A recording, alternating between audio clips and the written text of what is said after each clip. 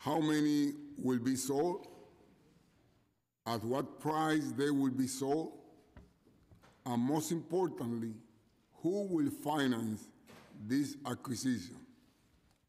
Since the League of Mutual Taxi Owners and many other such lenders are gone, currently there are no commercial lenders who are loaning money for the purchase of yellow medallions. It is not enough for the TLC to tell us that they expect X amount, X number of medallions to be sold in the private market without telling us who will finance them. With our source of, for borrowing, there will not be one medallion sold. this committee expects to hear from the Commission on how it anticipates to fulfill its commitment to generate new revenues and what is the TLC outlook for the value of the yellow medallion. This committee also looks forward to hearing about wheelchair accessibility for both medallion and for hire vehicle. We wish to know the taxi and limousine position on a bill that I introduced yesterday here, which was passed by the council yesterday. Finally, since the TLC issue its first for hire vehicle-based license to Uber in 2011, app-based companies have dramatic, dramatically increased in popularity compared to the yellow, greens, black, and livery. App-based Uber has become the single largest, largest for hire vehicle. The committee is interested in hearing about the TLC outlook on the future of this thriving industry and its impact on medallion taxis and the rest of the for-hire vehicle industry. I have introduced legislation will create a new separate category for this app-based vehicle. I will expect to hear the TLC views on the legislation. Let me say this in Spanish. Buenas tardes, señoras y señores. Bienvenidos a la primera audiencia de presupuesto para el año fiscal 2019 del Comité de Vehículos de Alquiler. Yo soy el concejal Rubén Díaz, soy el presidente de este comité.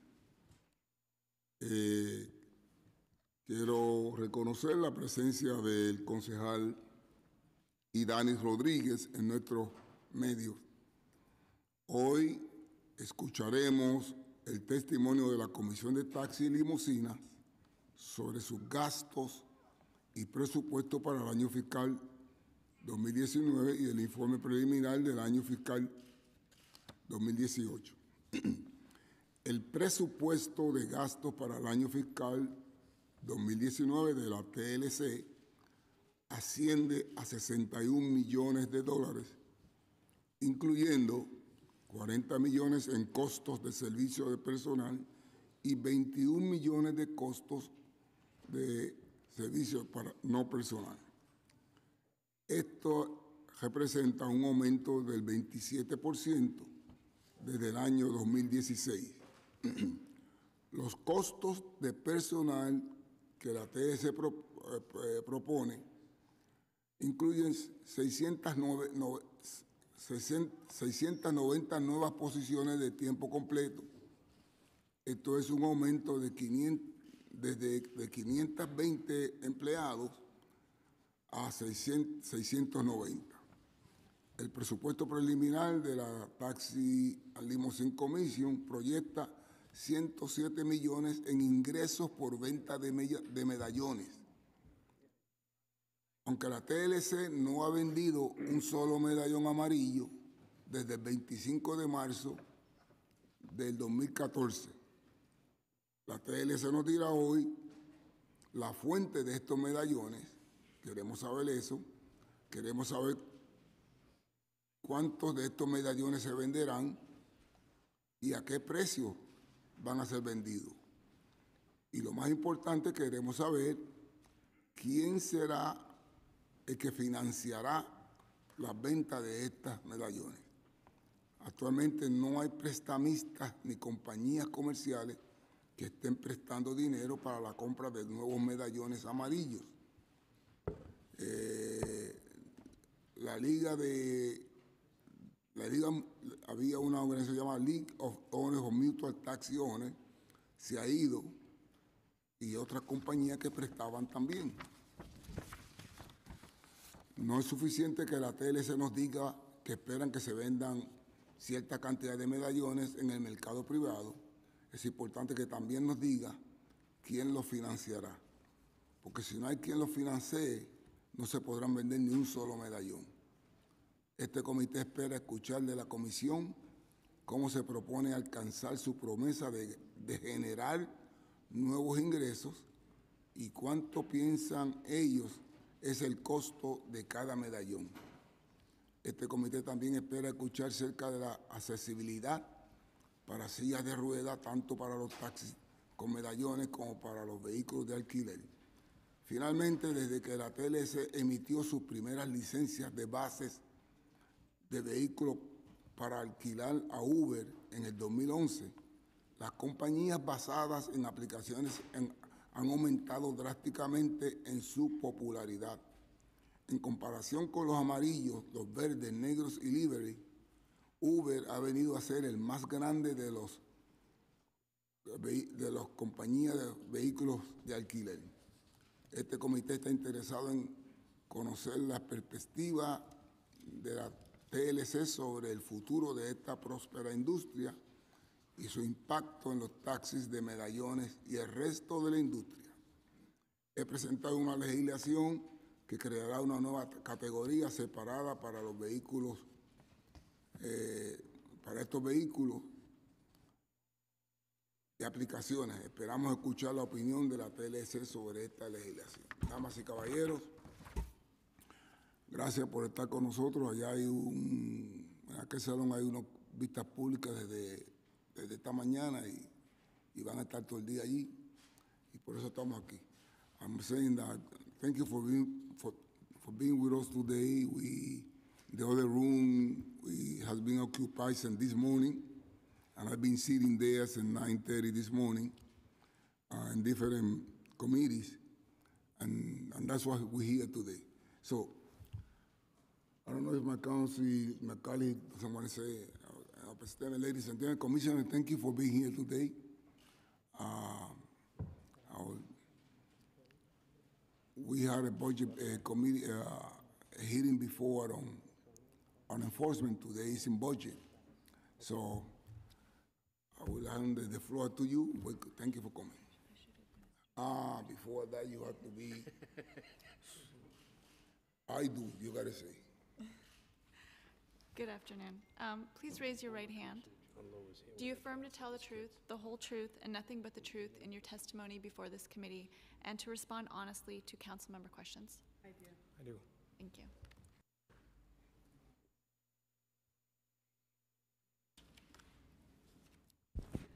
Good afternoon. Um, I want to start out by introducing two of my colleagues that are here with me today. Assistant Commissioner of Budget and Finance, Vincent Chin, and our outreach coordinator, Stephanie Toro, who will be providing Spanish translation for the benefit of those people that have come to listen to this testimony today.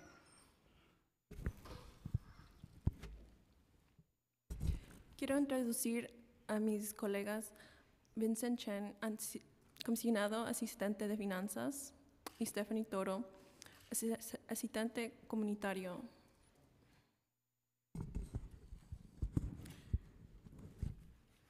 I'll do one paragraph at a time, or you want to read the whole thing through? Commissioner, you could use that, the other microphone, and keep that to her. This one. Thank you for that suggestion.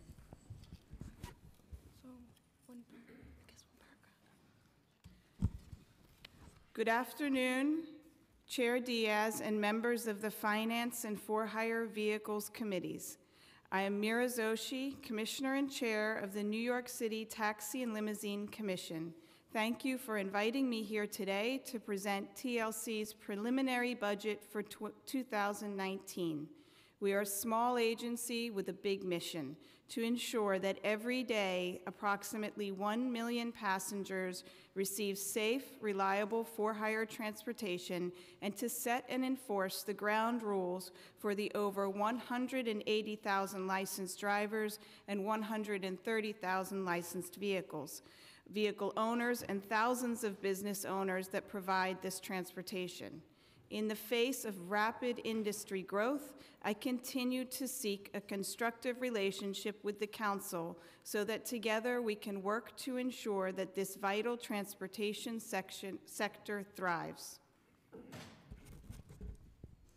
Buenas tardes, presidente Díaz y los miembros del Comité de Finanzas y del Comité de Vehículos de Alquiler. Soy Meera Joshi, comisionada y presidente de la Comisión de Taxis y Limusinas de la Ciudad de Nueva York. Gracias por invitarme aquí hoy día para presentar el presupuesto preliminar de TLC para el 2019. Somos una pequeña agencia con una gran misión, asegurar que cada día aproximadamente un millón de pasajeros reciban un transporte de alquiler seguro y confiable y para establecer y hacer cumplir las reglas básicas para los más de 180 mil conductores autorizados y 130 mil propietarios de vehículos autorizados y miles de propietarios de negocios que proporcionan este transporte. Antes del rápido crecimiento de la industria, continúo buscando una relación con- cons- constructiva con el Consejo para que podamos trabajar juntos para asegurar que este sector de transporte vital prospere. I would first like to discuss improvements the TLC has made and our continuing work to strengthen performance of our core functions, including licensing and enforcement of local law and TLC rules. Under local law, all drivers and vehicles that operate for hire in New York City must be vetted and licensed by the TLC. This means they've passed a review of their driving record, criminal record, and have been fingerprinted and drug tested. These are fundamental public safety standards that cannot be sacrificed. With the increasing volume of applicants, we've focused on identifying efficiencies in, licen- in the licensing process to decrease the time to review applications while also improving customer service. Many licensing, licensing processes have been moved online so that drivers do not have to make in-person visits as they did in the past. In 2017, we unveiled TLC Up, a platform for both driver and vehicle license applicants that allows them to complete almost all application requirements from their smartphone. Primero me gustaría hablar de las mejoras que ha hecho TLC y nuestro continuo trabajo para fortalecer el desempeño de nuestras funciones básicas, incluyendo la concesión de licencias y la aplicación de las leyes locales y las normas de TLC. Abajo de la ley local, todos los conductores de vehículos que operan de alquiler en la ciudad de Nueva York tienen que ser investigados y autorizados por el TLC. Eso significa que han pasado una revisión de registro de conducción, antecedentes penales y han sido tomadas las huellas dactilares y las pr- pruebas de drogas. Son estándares fundamentales de seguridad pública que no pueden ser sacrificadas. El volumen creciente de solicitantes hemos enfocado en identificar eficiencias en el proceso de concesión de licencias para disminuir el tiempo de revisión de solicitudes, mientras que también mejorando el servicio al cliente. Muchos pr- procesos de licencia se han movido en línea, por lo que los conductores no tienen que hacer visitas en persona, como lo hicieron en los años pasados. En 2017 lanzamos TLC Up, una plataforma para las solicitantes de licencia de conducir y vehículos que les permite completar casi todos los requisitos de solicitud desde el teléfono inteligente. We also now allow vehicle owners to schedule their own appointments at times and on dates that work best for them, rather than having to work around a predetermined date and time. We hope to expand this system this year so that applicants can self-schedule vehicle inspections at our Woodside facility. Additionally, licensing staff visit drivers while they're completing their training to answer questions in person about the licensing process. TLC drivers make roughly 1 million trips every day, and our goal is to ensure consumer protection and safety standards for every passenger. To that end, the TLC regularly visits bases, taxi stands, and the airport holding lots and other locations to update drivers on important initiatives and traffic safety strategies. To recognize and encourage safe driving, the TLC honors the safest drivers at its annual Safety Honor Roll. In 2017, we honored a record number of 420 drivers who had no crashes involving a fatality or injury, no traffic violations, and no violations of a TLC safety related rule for four years or more. We thank council members who've attended over the years, including Council members Gibson, Council member Rodriguez, and Council member Rodriguez, thank you for the proclamation you provided one year. Council member Dromm, Council member Chin, and Council member Rosenthal, and Chair Diaz, we welcome your participation and the other members of the For Hire Vehicles Committee in this important Vision Zero event. También ahora permitimos que los propietarios de vehículos programen sus propias citas con tiempo y fechas que funcionan mejor para ellos, en lugar de tener que trabajar alrededor de una fecha y hora predeterminada. Esperamos expandir este sistema este año para que los solicitantes puedan autoprogramar inspecciones de vehículos en nuestra oficina de Woodside. Además, el personal de licencia visita a los conductores mientras están completando su entrenamiento para responder preguntas en persona sobre el proceso de concesión de licencias. Los conductores de TLC hacen aproximadamente un millón de viajes todos los días y nuestro objetivo es garantizar la protección de los consumidores y los estándares de seguridad para cada pasajero. Con este fin, el TLC regularmente visita bases, paradas de taxi, estacionamiento de aeropuerto y otros lugares para actualizar a los conductores en las iniciativas importantes y estrategias de seguridad vial. Para reconocer y alentar la conducción segura, el TLC rinde homenaje a los conductores más seguros en su cuadro anual de honor de seguridad. En 2017 honoramos un récord número de 420 conductores que no tuvieron accidentes, que implican una fatalidad o lesión ninguna violación de tráfico y ninguna violación de las reglas relacionadas con la seguridad de TLC por cuatro años o más. Agradecemos a los miembros del Consejo que han asistido a lo largo de los años, incluyendo a los concejales Gibson, Rodríguez y Drum, y al presidente Díaz damos la bienvenida a su participación y otros miembros del Comité del Vehículo de Alquiler en este importante evento de Visión Cero. Consumer protection and safety standards cannot be effective unless they're paired with enforcement. So I want to reiterate a few points from my, Jan from my February 12th testimony at your hearing. The goal of our enforcement action is to stop unsafe and dangerous behavior. As you heard from a member of the Families for Safe Streets on February 12th, Safe driving can literally be the difference between life and death. I urge you to view our video, Drive Like Your Family Lives Here, which is now shown to all MTA bus drivers and city drivers, as it graphically brings home the value of enforcing against unsafe drivers. For this reason, we prioritize our enforcement efforts on violations relating to traffic safety, such as speeding and distracted driving and unlicensed activity. An example of this is our operations combating unlicensed van activity, particularly in Brooklyn and Queens and lower Manhattan. In total, the TLC com completed nearly 300 van enforcement operations in 2017, which resulted in more than 1,300 summonses to unlicensed drivers and vehicles.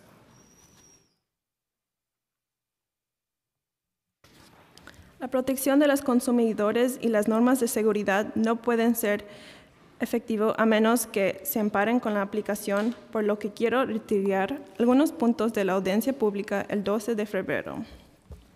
El objetivo de nuestra acción de aplicación es detener el comportamiento peligroso y inseguro. Como usted oyó de un miembro de las familias para las calles seguras, el 12 de febrero, el conducir seguro puede ser literalmente la diferencia entre la vida y la muerte.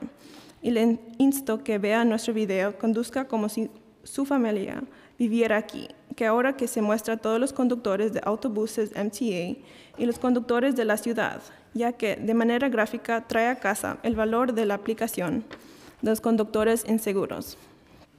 Por esta razón, priorizamos nuestros esfuerzos de cumplimiento de las violaciones relacionadas con la seguridad de tráfico, tales como la velocidad y la conducción distraída y la actividad sin licencia.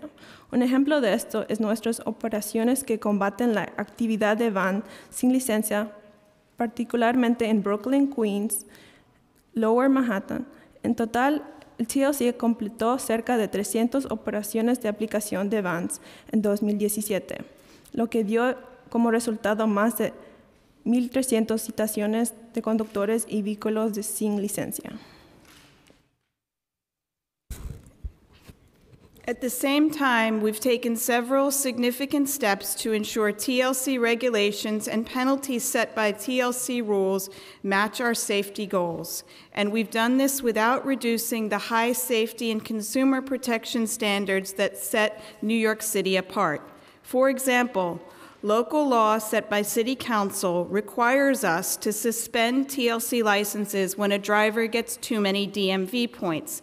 Since 2015, TLC has allowed many drivers to take safe driving courses that reinforce the rules of the road prior to the hearing and avoid penalties that would put them out of work for extended periods of time. This reinforces safe conduct and allows them to continue making money safely and legally. Since 2015, following a meeting including stakeholders, um, TLC does not pursue TLC red light camera summonses if a driver has paid the underlying Department of Finance summons. In 2017, we amended our rules to allow drivers who whose TLC license expired to renew and reopen them within six months and get back on the road without having to apply for a new license. In 2016, the commissioners adopted a penalty review package that reduced over 30 penalties. Starting in 2017, rather than issuing summonses for minor equipment violations, such as a burnt out light bulb, officers generally issue a notice of violation that allows drivers to fix the problem rather than issue a summons. Further, we've heard your concerns from we've heard concerns from drivers about receiving field summonses in the mail instead of during a car stop. And I'm pleased to say that since January 2017, we've reduced the percentage of mailed summons from 60% to 15%. I'm proud of the work that we've done to reduce regulatory burdens and fines and encourage the Council to work with us in reviewing those penalties that are set by this Council and can only be changed through Council action. Al mismo tiempo, hemos tomado varias medidas importantes para asegurar que las normas de TLC y las sanciones estabilizadas por las reglas de TLC coincidan con nuestros objetivos de seguridad. Y lo hemos hecho sin reducir los altos estándares de seguridad y protección al consumidor que establecen la ciudad de Nueva York. Por ejemplo, la ley local nos exige suspender las licencias de TLC cuando los conductores tienen demasiados puntos del DMV.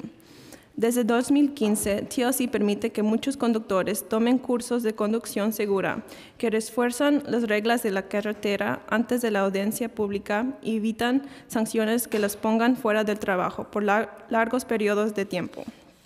Esto refuerza la conducta segura y le permite seguir ganando dinero de manera segura y legalmente. Desde 2015, después de una reunión que incluye las partes interesadas de la industria, TLC no persigue citaciones de la cámara de luz roja de TLC si un conductor ha pagado la citación del Departamento de Finanzas.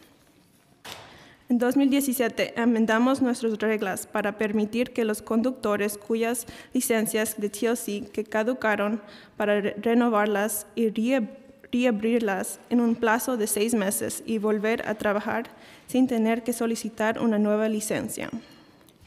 En 2016, los comisionados de TLC adop- adoptaron un paquete de reglas de revisión de sanciones que redujo más de 30 sanciones. Comenzando en 2017, en lugar de emitir citaciones para violaciones menores de equipos, tales como focos quemados, los oficiales generalmente imitan un aviso de violación que permite a los conductores solucionar el problema en lugar de emitir una citación. Además, hemos escuchado inquietudes de los conductores acerca de la recepción de citaciones de campo en el correo en lugar de durante una parada de carro. Me complace decir que desde enero de 2017 hemos reducido el porcentaje de citaciones por correo de 60% a 15%. Estoy orgulloso del trabajo que hemos realizado para re- reducir las cargas regla- reglamentarias y, le- y las multas y aliento al Consejo que trabaje con nosotros en la revisión de las sanciones establecidas por la legislación local que solo pueden cambiarse mediante la acción del Consejo. Finally, as part of our outreach initiatives, we've begun to hold open houses for drivers throughout the city, where drivers can ask TLC enforcement and prosecution staff specific questions about open summonses and their rights at a hearing. We held one session in Jamaica, Queens last week and set two sessions in the Bronx in late 2017. These are in addition to our regular driver outreach at events across the city, including last Saturday's Lunar New Year's celebration in Elmhurst, where we met with drivers in Chair Dromm's district. We invite council members to contact us if they believe their constituents would benefit from these events. Finalmente, finalmente, como parte de nuestras iniciativas de alcance comunitario, hemos empezado, empezado a tener casas abiertas para los conductores en toda la ciudad, donde los conductores pueden pedir a los empleados de la aplicación y procesamiento de TLC preguntas específicas sobre las citaciones abiertas y sus derechos en audiencia pública. Tuvimos una sesión en Jamaica, Queens la semana pasada y dos sesiones en el Bronx a finales de dol- 2017.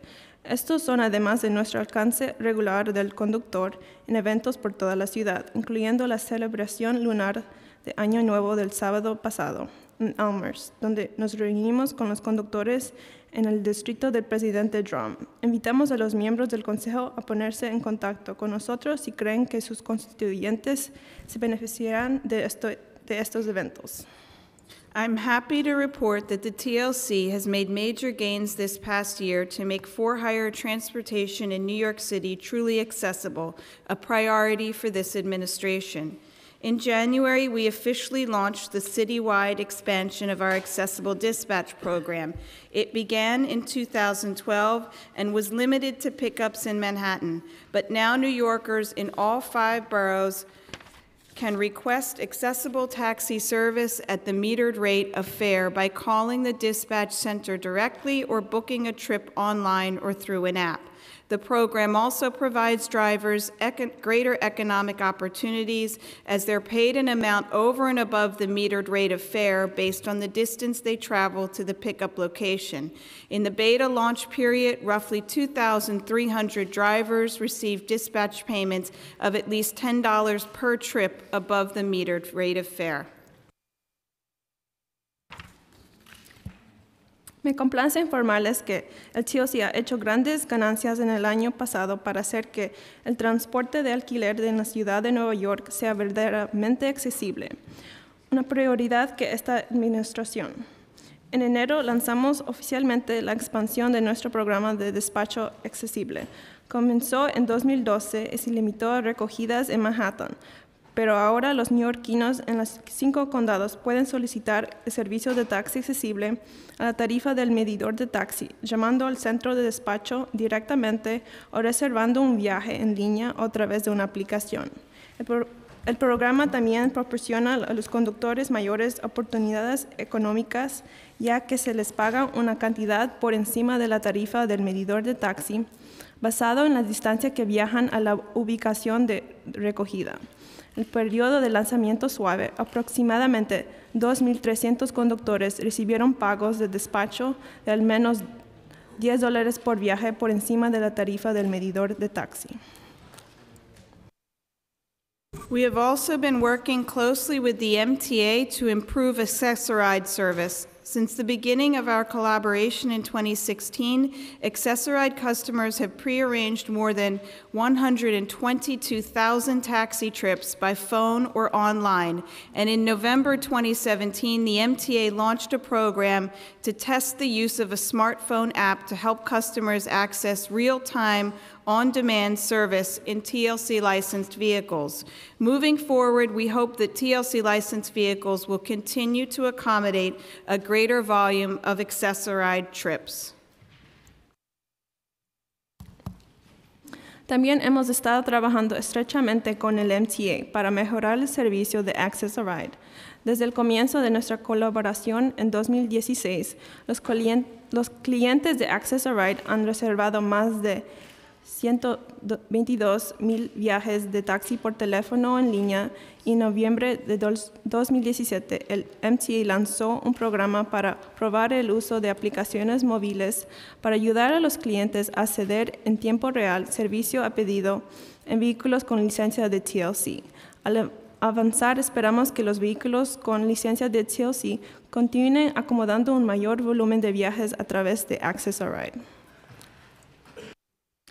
Now I'd like to preview the TLC's preliminary budget for fiscal year 2019, which is $60 million.9 broken down into 39.8 million in personal services and 21 million in other than personal services.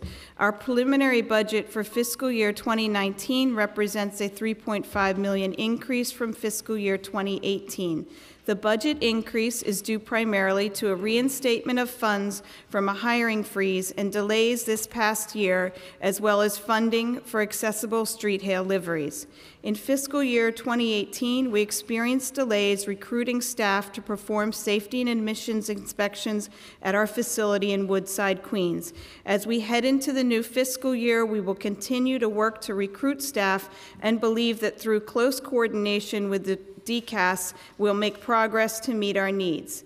Technology has greatly changed the industries we regulate, and we need to continue investing in technology to ensure we can meet our strategic goals with the best analytic tools.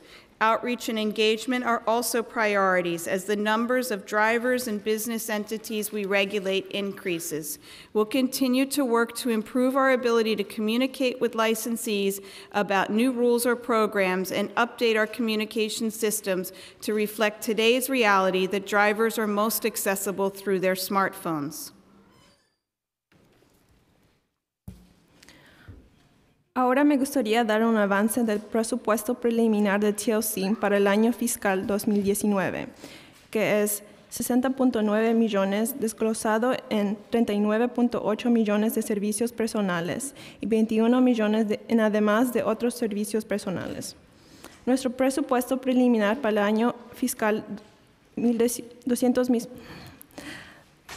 de- del año fiscal 19 representa un aumento de 3.5 millones a partir, a partir del año fiscal 2018. El aumento presupuestario se debe principalmente a la reincor- reincorporación de los fondos de congelación de contratación y los retrasos del año pasado, así como la financiación para los Street Hail Livery accesibles.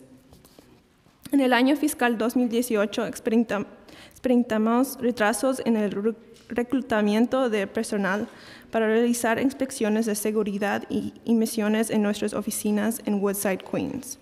A medida que nos dirigimos al año nuevo, año fiscal, seguiremos trabajando para reclu- reclutar personal y creemos que a través de una estrecha coordinación con DCAS avanzaremos para satisfacer nuestras necesidades. La tecnología ha cambiado muchas de las industrias que regulamos y tenemos que seguir invirtiendo en tecnología para asegurarnos de que podemos cumplir con nuestras metas estratégicas con las mejores herramientas analíticas.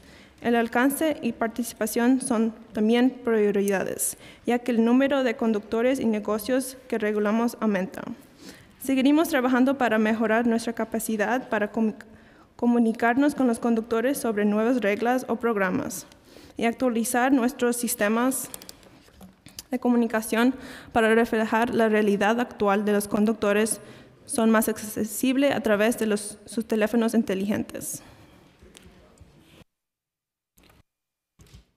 Overall, TLC's projected fiscal year 2019 revenue budget is 57.3 million, not including 107 million of projected revenue from medallion sales. We are in discussion with OMB about the medallion revenue, and it will be reevaluated for the executive budget. TLC's projected revenue excluding medallions reflects the fact that in January 2016, we extended the license cycle from two years to three, so we do not expect to receive revenue from license renewals under the new, new timetable until January 2019. And therefore, revenue from license renewals will be down the first half of fiscal year 2019. We will monitor licensing revenue during the year and work with OMB on any adjustments to the projection. In the midst of a greatly transformed industry, the TLC continues to advance our key goals safety, consumer protection, driver welfare, and accessibility. Thank you for the opportunity to speak today, and I'd be happy to answer any questions you have. En general, el presupuesto proyectado para el año fiscal de 2019 de TLC 57.3 millones, sin incluir 107 millones de los ingresos proyectados de las ventas de medallones. Estamos en discusión con OMB para los ingresos medallón y vol- volveremos a evaluar esto en el presupuesto ejecutivo. Los ingresos proyectados de TLC, incluyendo los medallones, reflejan el hecho de que en enero de 2016 ampliamos el ciclo de la licencia de dos años a tres, por lo que no esperamos recibir ingresos de las renovaciones de licencia abajo del nuevo horario hasta enero de 2019. Y por lo tanto, los ingresos de las renovaciones de licencia será por la primera mitad del año fiscal de 2019. Estaremos supervisando los ingresos de las licencias durante el año.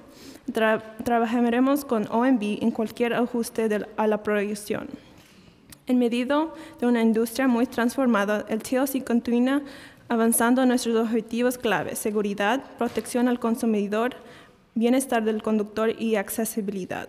Gracias por la oportunidad de hablar con ustedes hoy. Estaría encantada de responder cualquier pregunta que puedan tener. Thank you, Commissioner.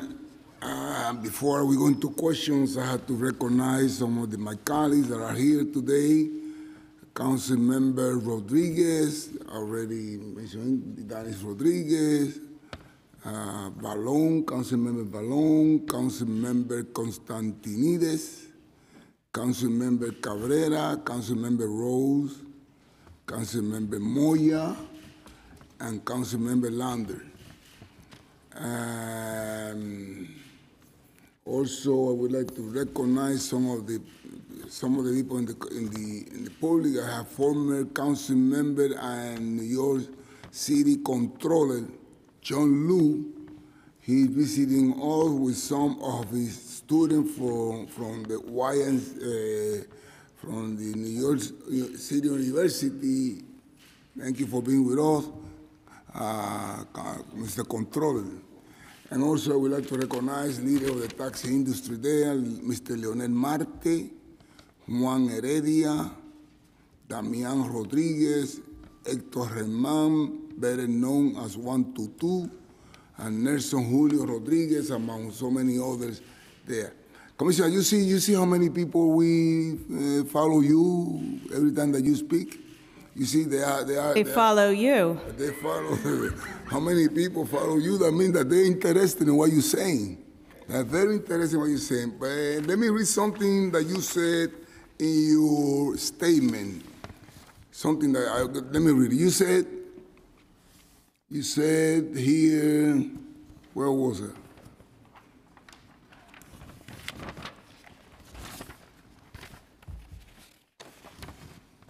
Okay, I got it here. You said the goal, the goal, la meta, the goal of our enforcement action is to stop dangerous and unsafe behavior. Could you, could you tell me what is the dangerous and unsafe behavior for taxi and limousine commission?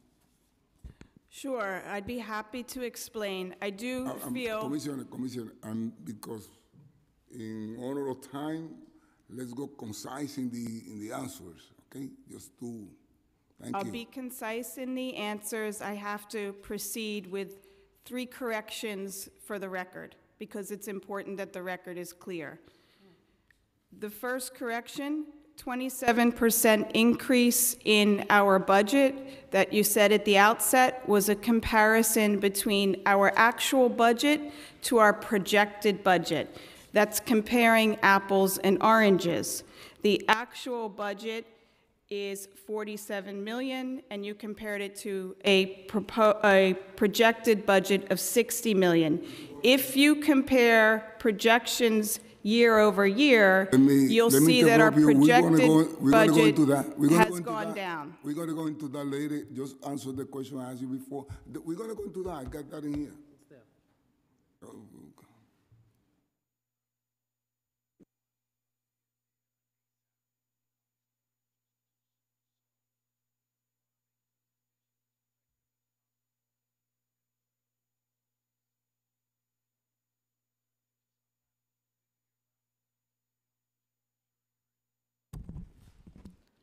Usted dijo que nuestro presupuesto proyectado es 60.956 dólares, cuando nuestro presupuesto actual es 400.931 dólares. Eso es como comparar naranjas a manzanas.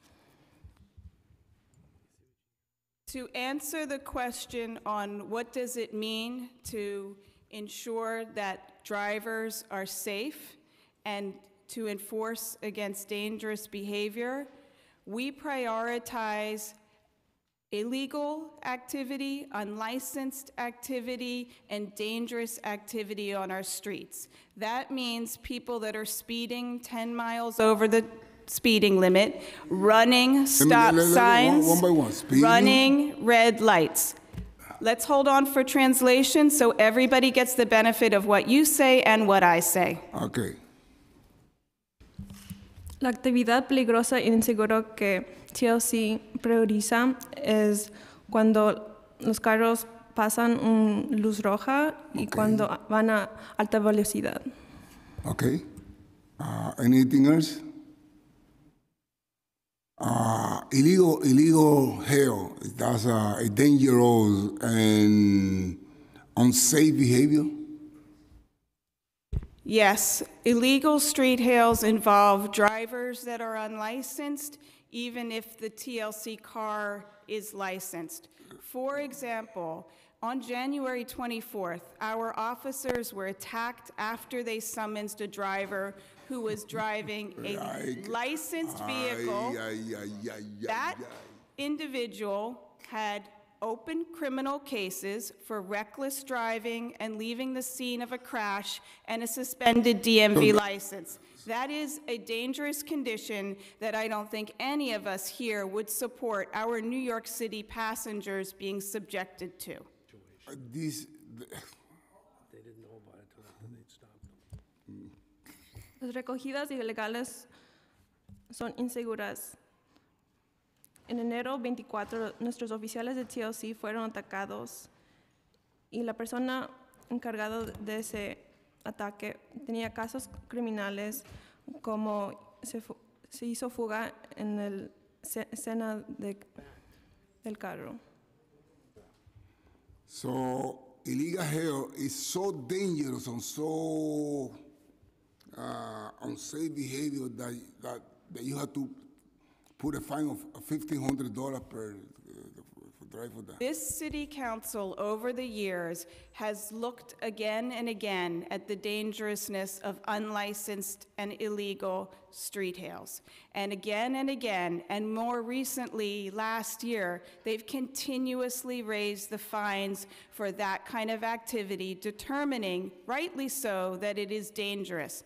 The drivers may not be vetted, the vehicles may not be inspected, and there certainly isn't the right insurance should anything go wrong on that trip. So your colleagues, and now your committee, are the ones that have repeatedly over the years and reinforced that that kind of behavior is deserving of fines up to $10,000. And I think this is the point that's very important, that it must be translated so the entire audience hears it. Uh, before you, no, no, We need to translate in order for this to be a think that- real hearing okay. where both what you say and I say is understood by right, all. We're gonna be here, I got time, don't worry about it. Don't, don't you dare then to say, I gotta go. Cause we're gonna be here until we finish. Thank you very much. El consejo decide las multas altas como de de 10 mil dólares. Si el conductor no está licenciado por TLC, no se puede examinar la- los records de DMV y no, puede- no se puede asegurar que tenga seguro del carro.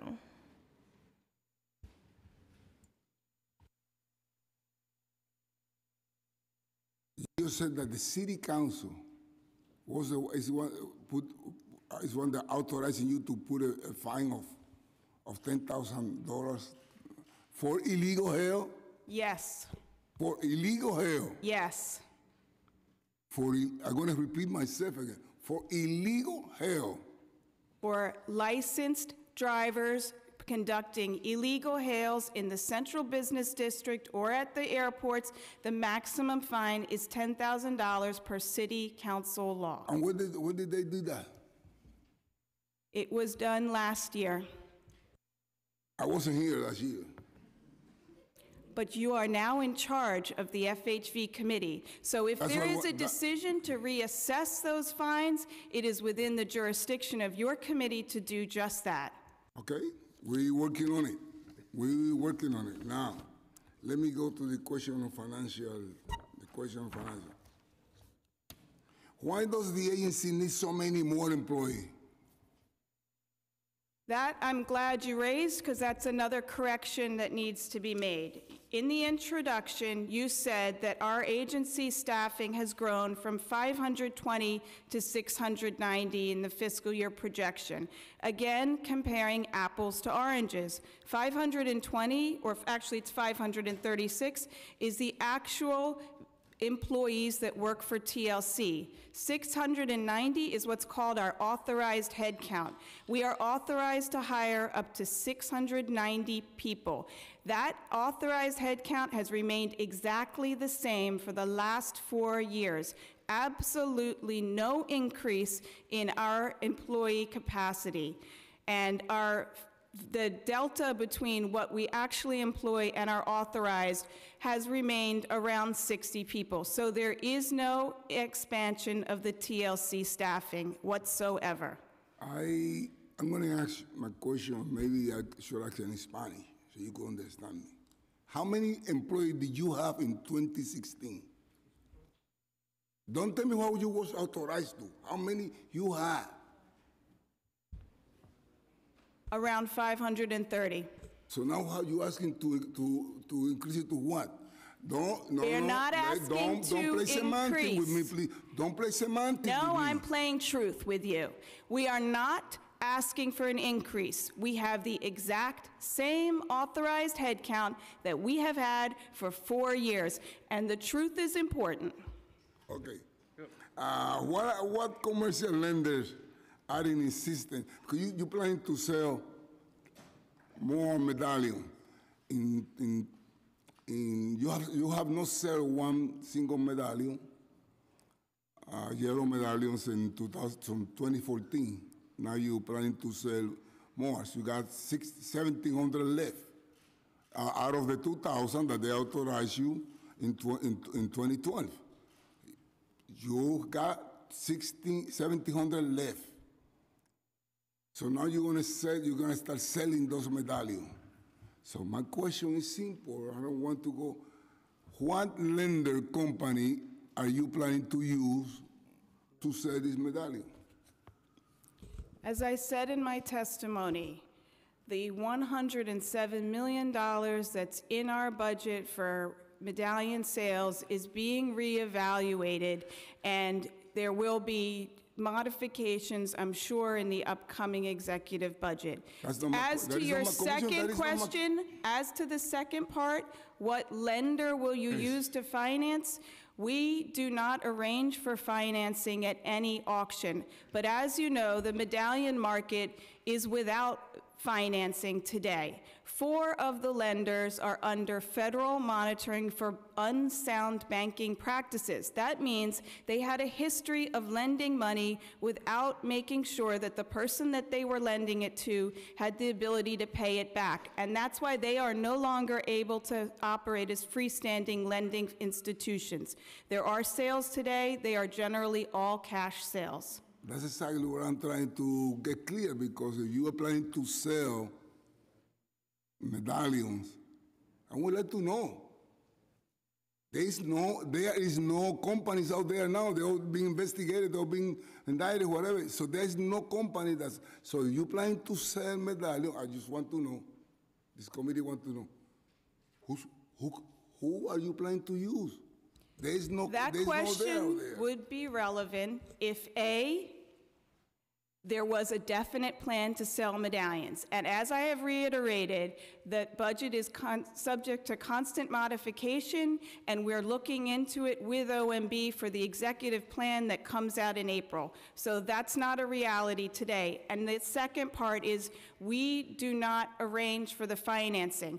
It is very un- unfortunate and disastrous that so many lending institutions lent out so much money without concern for how the people that they lent to would pay it back.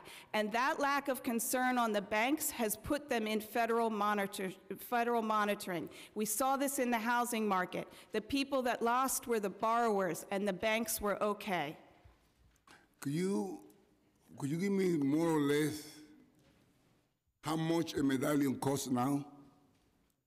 Medallion sales that are on the second market now um, sell between $120,000 and $400,000. The reason being some are foreclosures, some are bankruptcies, some have financing, most do not, and some are all cash deals. When they're all cash deals, the price tends to be on the very low end. So we, we agree that the medallions has come down from fifteen hundred dollars, I mean, fifteen, uh, one point five million dollars to one hundred and fifty thousand, one hundred twenty-five thousand dollars. So the medallion, the yellow medallion has come that, that low. On the secondary market, yes. Now, the 1.3 million could be very much artificially high based on the lending practices that were in place then, and 120,000 as a cash deal might be artificially low, but there is no debate there has been an, a decline in medallion values of a significant nature.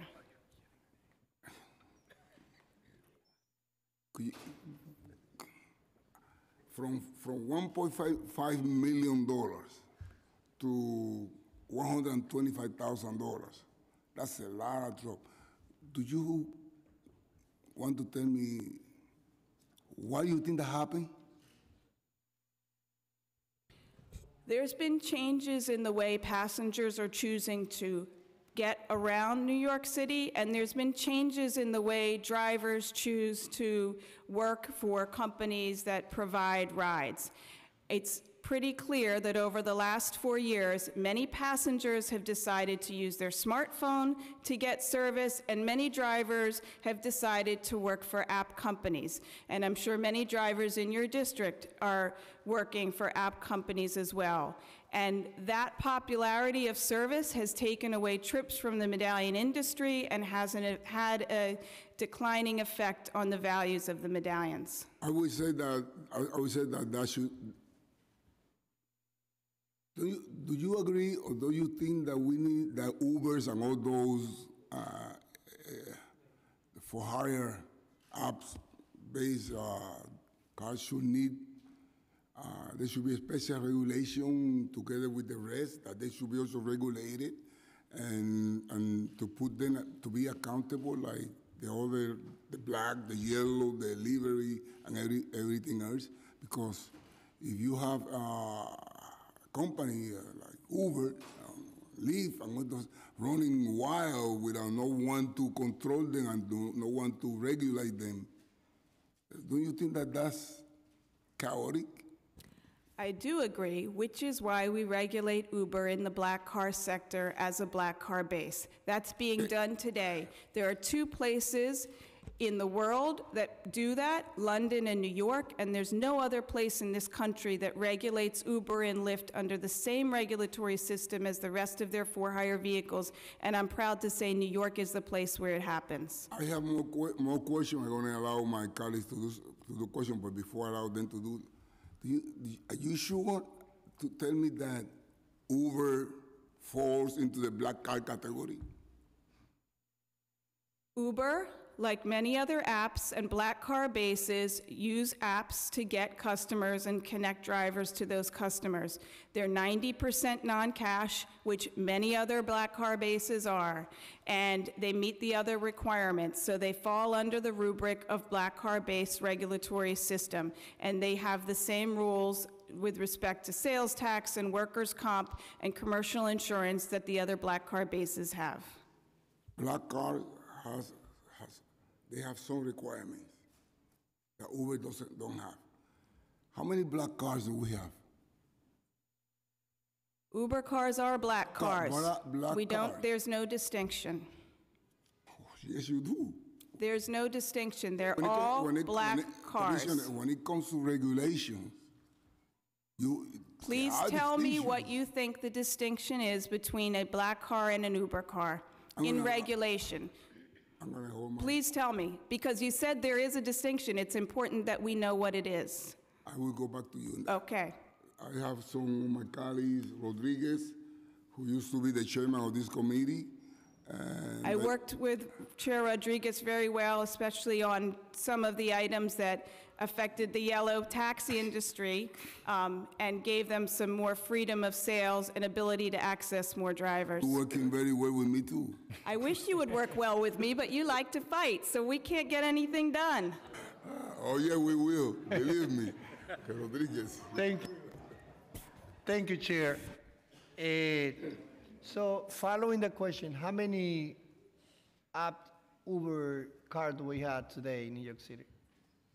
Cars affiliated with an Uber base is about 65,000. And, and most of them, they are registered as a black car, right? Yes. Most of them. I think that, you know, we are in the middle of a crisis, and it's a hot potato, eh, in a sense that, you know, there's a new company that they come with all those billions of dollars. So when we try to regulate, here they go putting millions of dollars in negative apps because this is about destroying the small one in order to create that monopoly. That's what we are today in 2018. It, I believe that New York City, a place where we have 8.5 million New Yorkers, more than 50 million tourists, It's a place for everyone to do good.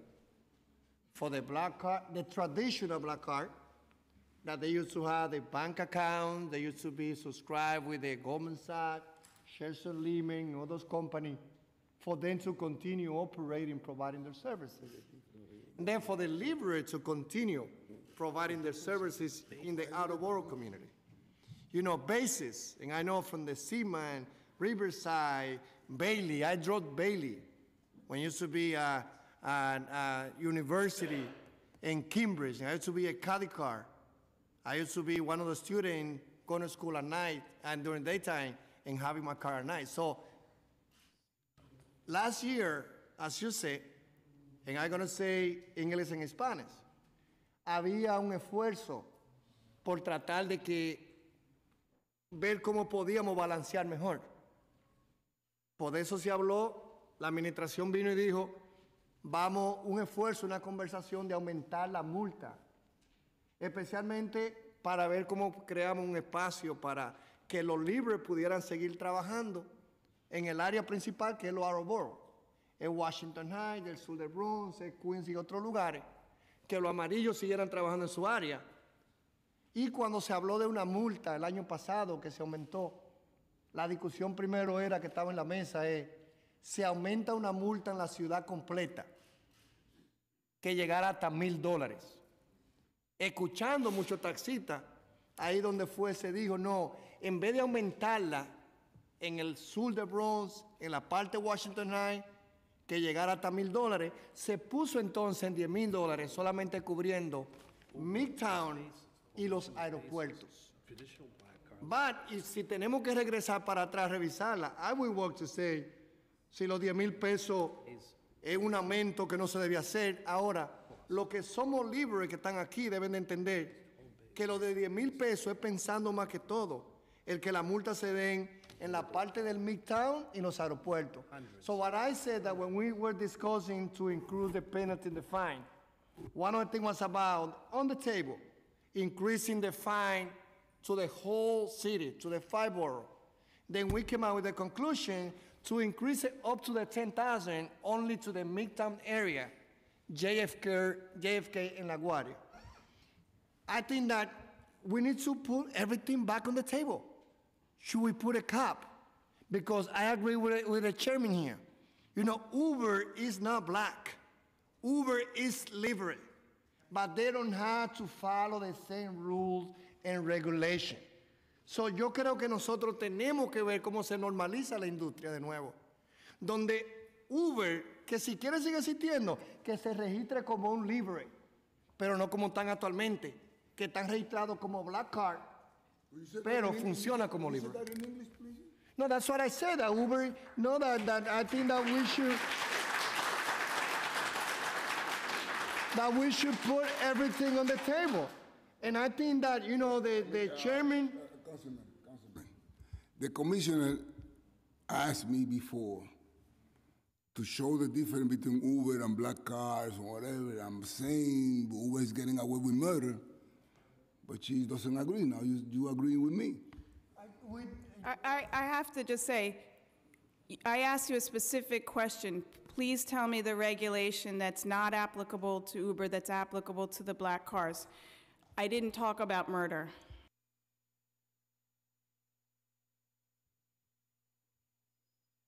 When we want to make a point, and I know, I know you know that, but let me refresh my, your memory, just in case, because I know where you're going. When we want to make a point of somebody doing things that other people cannot do, we say getting away with murder. Doesn't mean they're murdering people.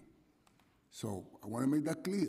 When I say who is getting away with murder, I'm saying who is getting away with a lot of things that other people don't do. Now, you know what you did last year with the city council? You killed all those livery cars. Could you, do you know what is 10,000? I mean, who conceive, who, who, which human being, which human being I think you need to look, I think you and then you need to me that we take, I think you need to take a look at the law when it was enacted. I think Councilmember Rodriguez can, en- can give you all of the details about how that law came to be last year and how the $10,000 fine applies to Manhattan Central Business District and the airports. So there's more information about how that law came to be on the table around you than on the table around me. again, going back to the same suggestion, one is, I believe that Uber and Lyft, there should be a discussion, and they should be registered, yes, as a libre. Because if they want to take advantage of the opportunity that New York City provides to everyone, if they want to go be black car, go back to the 1990s on what the black car used to be. And why still today, some black company continue providing their services. But they cannot pretend that they can continue as being registered as a black car and serving as labor. I also believe, and this is something that I started discussing with the commissioner, I hope that with the chairman also we continue making progress. We should not give those fines to the motor, through the motor vehicle to the drivers and also give this, maintain another fine for the same amount of money that driver been paying already. I think that we make progress, but I believe that there's a space where we still can make more progress. Estoy diciendo que yo creo, yo lo comencé el año pasado, no lo logramos terminar, era pidiendo de que los choferes que reciben multa por ticket de motor vehicle no deberían recibir otra multa adicional por los agentes de TLC también.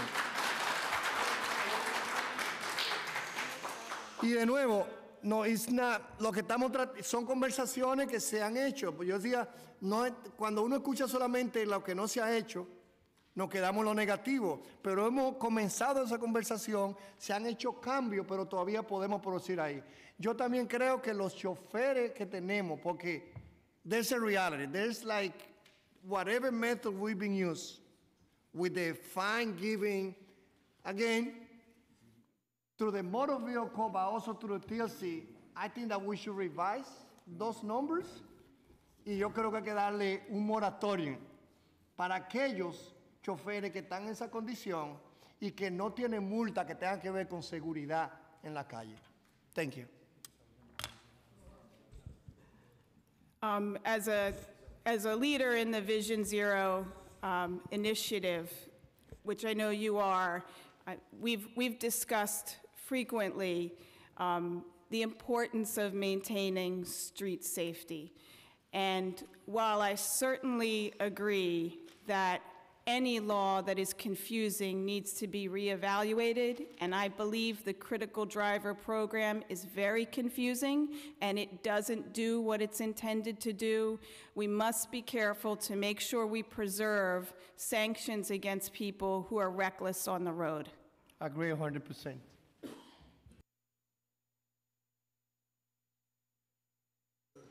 Also for Councilmember Borelli.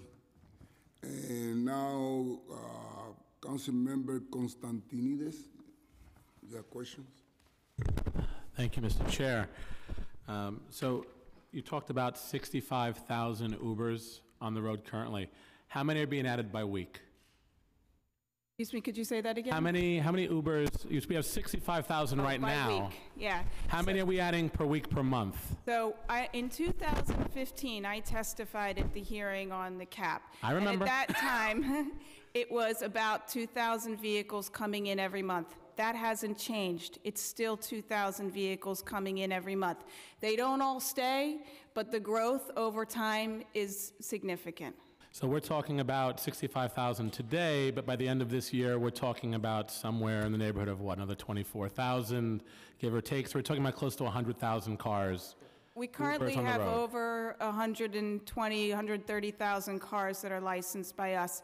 Um, And if the pace continues, yes, that number will continue to go up. I mean, as, f- as far as Uber, I, I chair the Environmental Protection Committee, and as a member of this committee, I share our chairman's deep concern about us not doing enough when it comes to e-hail.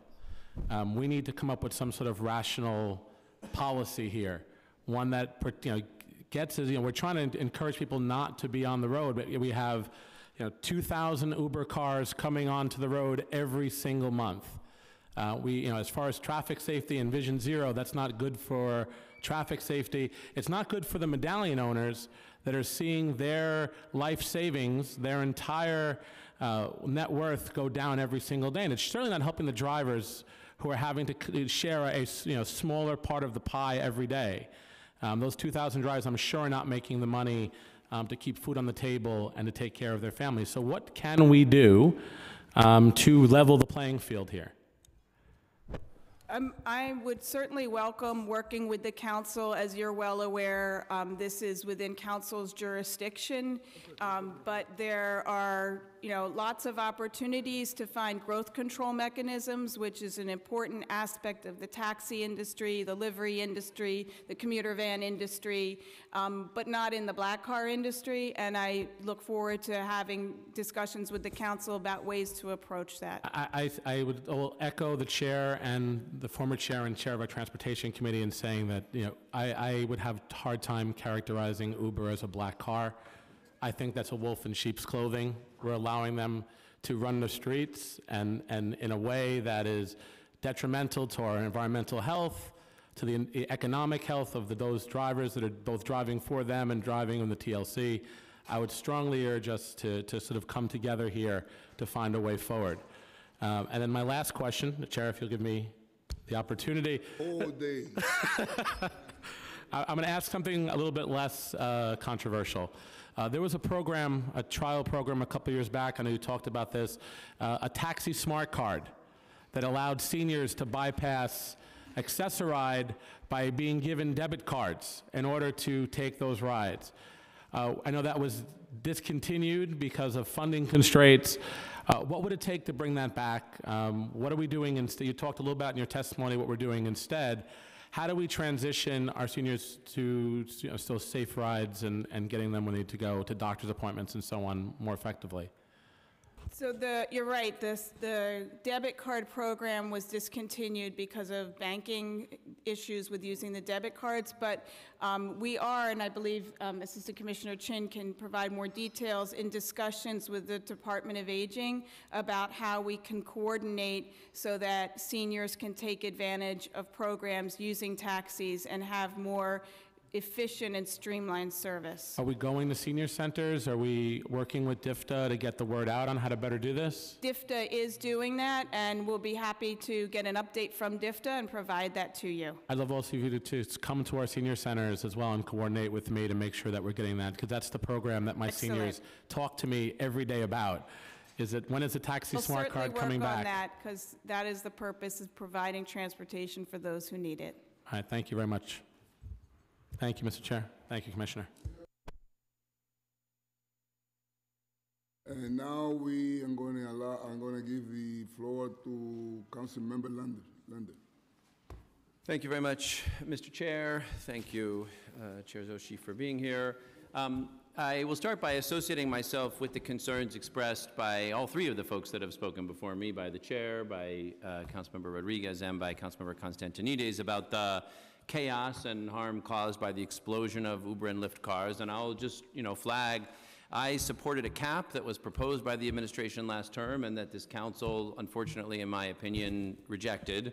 Uh, and I would still support it. So uh, another possibility to look at is to consider going back to some sort of cap, which we looked at before, and, and I think we should consider again. I also support establishing FHV driver pay regulations uh, to make it more possible for those FHV drivers to earn a, a living on the model of the kinds of regulations that are in place for, for yellows. I know that's something that the, the TLC is taking a look at. Can you give us a little update on that process and, and where it is? Yes, we, we do regulate for taxi drivers. We provide income protection for them through our lease caps. Um, We had a very long hearing with lots of FHV drivers talking about how their income was going down due to the increased competition and them getting less work. Uh, So we are actively looking into how we can provide the same level of income protection for licensed for-hire drivers. Um, Do you say you have least, uh, least cap in Uber? We have the lease cap rules for medallion, taxi leasing, and But not medallion. Uber? What I said to commit, council Oh, member, no. But this was the question that I asked, and she just answered that they are looking at this very thing. Well, we could be doing it, again, I'll if be we honest, Chair. continue to compare things and I'll be honest, Chair, without a we- real association, I don't know if this is a productive conversation. I would like to work productively with you. I think there's opportunities for that, but let's get down to work. let me, let me. Mr. Chair, I'll just point out, we could What- do that by legislation in the city Yeah, I council. just and- submitted one. And we have not, and they went ahead and had a hearing and had hundreds of people come out and explore the possibility of, of doing it. So I do think it's important to give the props and the credit where it's We due. do. In advance of the city council, unfortunately, in my opinion, uh, the Taxi and Limousine Commission is out in front of us and trying to figure out driver pay regulations for Uber and Lyft drivers. Uh, Of course, it would be wonderful to do by local law, um, Another example of that is that, you know, it was many years ago that the TLC looked to establish some form of driver benefits program. Uh, That's something the chair and I have talked about on a lot of occasions, but this council still has not given them the authorization to do it. A court found that they don't have, they lack the authorization to establish, dri- am I, am I correct in this, that the court found that TLC lacks the authorization to establish driver benefits?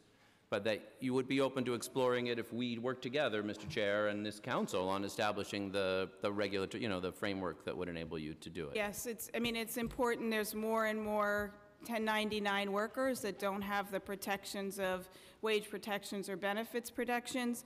Uh, We did in 2012, 2013, try to provide that for drivers, but the court decided that we didn't have the jurisdiction. So I, I hope, Mr. Chair, we can work together with, with the TLC on Wait, both driver wait, pay let me- regulations let and me- on Let me, benefits. let me say for the record that when you contemplate, you see the abuses committed to people like you, everyone, everyone defend theirs, their own. So when you see how your community is being abused here, how men and women, mostly immigrants, mostly Hispanic, most of, most of them, being abused with ticket of ten thousand dollars, fifteen hundred dollars, three thousand dollars, and you continue seeing those abuses day after day, and then you continue seeing that the majority of someone's uh, money coming to the TLC is in, in summonses such as illegal hell. And then you say, well, why? Then when you say, this is, is frustrated. So I decided I'm going to run to the city, for the city council to see if I could help. And I want, I, I'm here to, trying to, to, to, to help, but, but, but you know, for how long this abuse is going to go? ten thousand dollars when you say for illegal hell? What what are we doing? What what are we doing? And then you're saying, oh, this is this is not a, a, a good conversation. This is the only way that we have to make to make people listen. Now you're saying that last year the city council decided to punish the, the, the, this driver with ten thousand dollars for illegal hell to protect to protect the yellow. But then after you do that, then you allow Uber to come to destroy the yellow. So this is something that we have to end. And, and, and, and ladies and gentlemen, I'm sorry, but uh, this got to be changed. Something got to be done. And, I- and, Mr. Chair, I, you know, again, I, I agree there's real, this is a system that is in dramatic change. Um, and that we haven't done enough. I, you know, I just feel like in a few cases, like with the cap, like with driver benefits and like with pay regulations, there's more, you know, that the, the, the TLC's been out in, in front of us. I have a couple of other questions I just want to ask. First, you're engaged in a lot of initiatives right now, the FHV pay regulation, the expanding FHV accessible dispatch to the five boroughs, which we did at Borough Hall, and you had some numbers about, uh, the expansion of Access-A-Ride uh, that you discussed, uh, the establishment of the trip tracking so that we could do the accessible dispatch and the, some of the safety regulations. So all of that is in this budget, and it's relatively modest increase?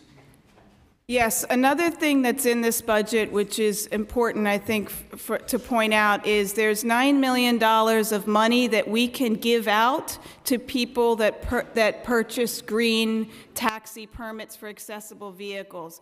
Um, in addition to that, we established a grant program so we can help you finance the vehicle and we can pay you every year for the maintenance costs of that vehicle um, four years in a row. And I'm going to refer to Vincent. What is the yearly? So it's $4,000 a year and $15,000 towards the purchase? 14, so 9 million of the dollars that are in our budget is money that we want to give to people to buy accessible green taxis. They'll get $14,000 when they purchase the taxi, and they'll get $4,000 each year afterwards towards the maintenance. Then the drivers can get additional money by using, being part of accessible dispatch, about $10 extra for every ride. Access-A-Ride is using green taxis.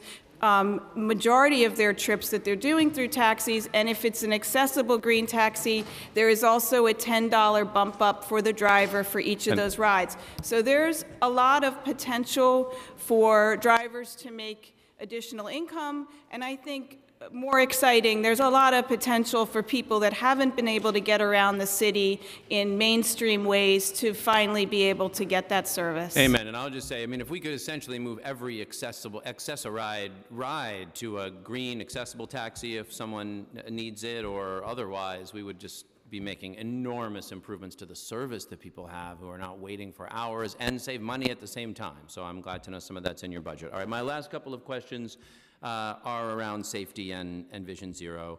Um, and Mr. Chair, I, I appreciate your concern uh, of not wanting to see people uh, taxed or fined uh, beyond their means. Um, but I'll tell you, this week especially, in my, you know, my neighborhood, we had these two beautiful little children killed by a dangerous driver who was not a taxi or FHV driver by any means, uh, by any means. Um, but I, we all have work to do here. Most taxi and FHV drivers are good drivers, just like most New Yorkers are good drivers. Some small percentage of us are dangerous and reckless drivers, and some small percentage of FHV and taxi drivers are reckless drivers. And I, I want to see us doing more to make sure we're focusing on those who are the most dangerous and doing something about it. So I'm glad to see that you also do some focusing on the ones who are the best and reward and honor them. And I hope you'll invite me next year. I would like to come and honor people who have that record. Um, but I guess especially, you know, I guess Cooper Stock's mom was at the prior hearing and she's got testimony in front of us today. And just given where I'm at at the moment, I want to ask one or two questions. I noticed in your testimony that if people pay their red light camera summonses, you just let them pay the Department of Finance charge. The, the woman, again, she was not a taxi or, or FHV driver, but the, the woman who killed these two kids in my neighborhood, I don't know if you got a chance to look at her driving record, but she had run four red light, the car, we don't know if it was her because they're caught by the camera. That car, maybe she's from a whole family of dangerous drivers, but the, the car had run four red light cameras and been speeding in four school zone cameras in the last two years. So we had the data to know that car and its drivers should not have been on the streets of our city before they killed these kids. But because those summonses go against the car and not against the license, it's, we're not doing anything about it. So I'm going to be looking at that for all of us. Um, but I guess I do want to ask, you know, how is the, in addition to the programs you mentioned, is there, and in, in addition to the way that you see who your safest drivers are to reward them, is there something that you're doing to look at if there are some reckless drivers who are driving around with TLC licenses by looking at the data that would tell us and making sure we take actions to either make them better drivers or if they won't become better drivers, to take their license before they do harm? We have a program where um, if you get, and, and this is also city council law, um, and so we enforce it, where if you get six points for hazardous moving violations on your DMV license, you're suspended. If you get 10 or more, you're revoked. So we do track um, our drivers' DMV records. We also have the ability to discretionarily revoke a license if someone has a bad pattern. So the example that you raised, um, without knowing every detail, my initial reaction is that woman would not have retained her TLC license because she would have gone past the point threshold. But that's the thing, and this is, again, this is not about TLC specifically. They were all camera violations, so none of them went against her license. They Our all went against the speeding violations, car. when we issue them, are point violation, I mean, they're, they're actual summonses, because there are speed, um, there are speed LiDAR equipment, and our red light ones are against the driver. So the record of the red light ticket being against the driver is there. If we settle it because you've paid the fine, then it's okay, but that record of you getting that is still there. If you run more than one red light, then that's a different story, and the, the penalties are much higher. Um, and we do track all of that, and we put it into consideration when we decide settlements, when we decide hearings, um, but also people coming in to become licensed drivers, if they have a history that looks like they're unable to drive safely on the road, they're not going to qualify to become a driver in the first place. Um, But, you know, we've worked closely with uh, Chair Rodriguez and you on a lot of the Vision Zero initiatives, um, and there's just no amount of, you know, there's no amount of compensation for what happens when people are reckless on the road. And I do have to say, it's also our drivers that suffer. Um, last year, a TLC driver was killed when a reckless driver hit them as they were right outside of their vehicle. So this touches all of us. None of us are immune from it. Um, and it really is about teaching people to drive more safely. Those are the fines we don't want to give out because that means somebody's posing a danger to others around them. And it'll be a good day when we're not finding people for reckless behavior. So I'd like to follow up with you and think a little more about what those algorithms you use are, so that if we're going to apply them more broadly in the general population, we're learning from some of what you've seen. Um, and I, you know, I, I share the goal of making sure our regulations are smart. Um, and we ought to be looking at the laws and finding ones that if we don't think they're uh, aligned perfectly, then we can look at changing them. But I do just want to reinforce how important I think it is that we keep the Vision Zero work going and that the work to target people and make sure everyone drives safely and that those people who don't, uh, don't have a TLC license um, is critically, is critically important. So thank you for that work. Thank you, Mr. Chair. Thank you, Council Member Lander. Uh, mm, Cabrera? Thank you, Mr. Chair. Thank you so much, Mr. Chair. Uh, Commissioner, thank you. I want to thank you, uh, first of all, I know we had recently a meeting with, uh, with yourself and this, and your staff, and I thought it was a very uh, forward-moving uh, meeting that we had, and, and I I just wanted to uh, ask you a couple of questions, and one of them is for clarification or for public knowledge. If, if someone is caught with a ticket, uh, with a, given a ticket because there was a missing light, and they come with the correction, uh, they're within 24 hours, I believe? We give them three days. Three days, then they don't have to pay for the $50, is that correct? Right, actually, they're never given the ticket. If you have one headlight burnt out, you're given what's called a notice of violation, which allows you to come to our inspection facility within three days and show us that it's been replaced. And if it's replaced, no summons is issued. That that sounds very fair, Uh, Commissioner. I hope that we could continue that policy. Absolutely. I think the point there is to get people to have two working headlights, and if that's the way that it best serves the purpose, then that's absolutely the way we want to go. In the, in the, uh, in the issue of double summonses, double tickets, uh, you know, I had re, uh, introduced, I had, uh, submitted an LS legislative request, and the council, uh, staff, uh, today, actually, uh, came back with a surprising, uh, response. Uh, to be honest with you, I was shocked uh, that we actually already have a law on this issue.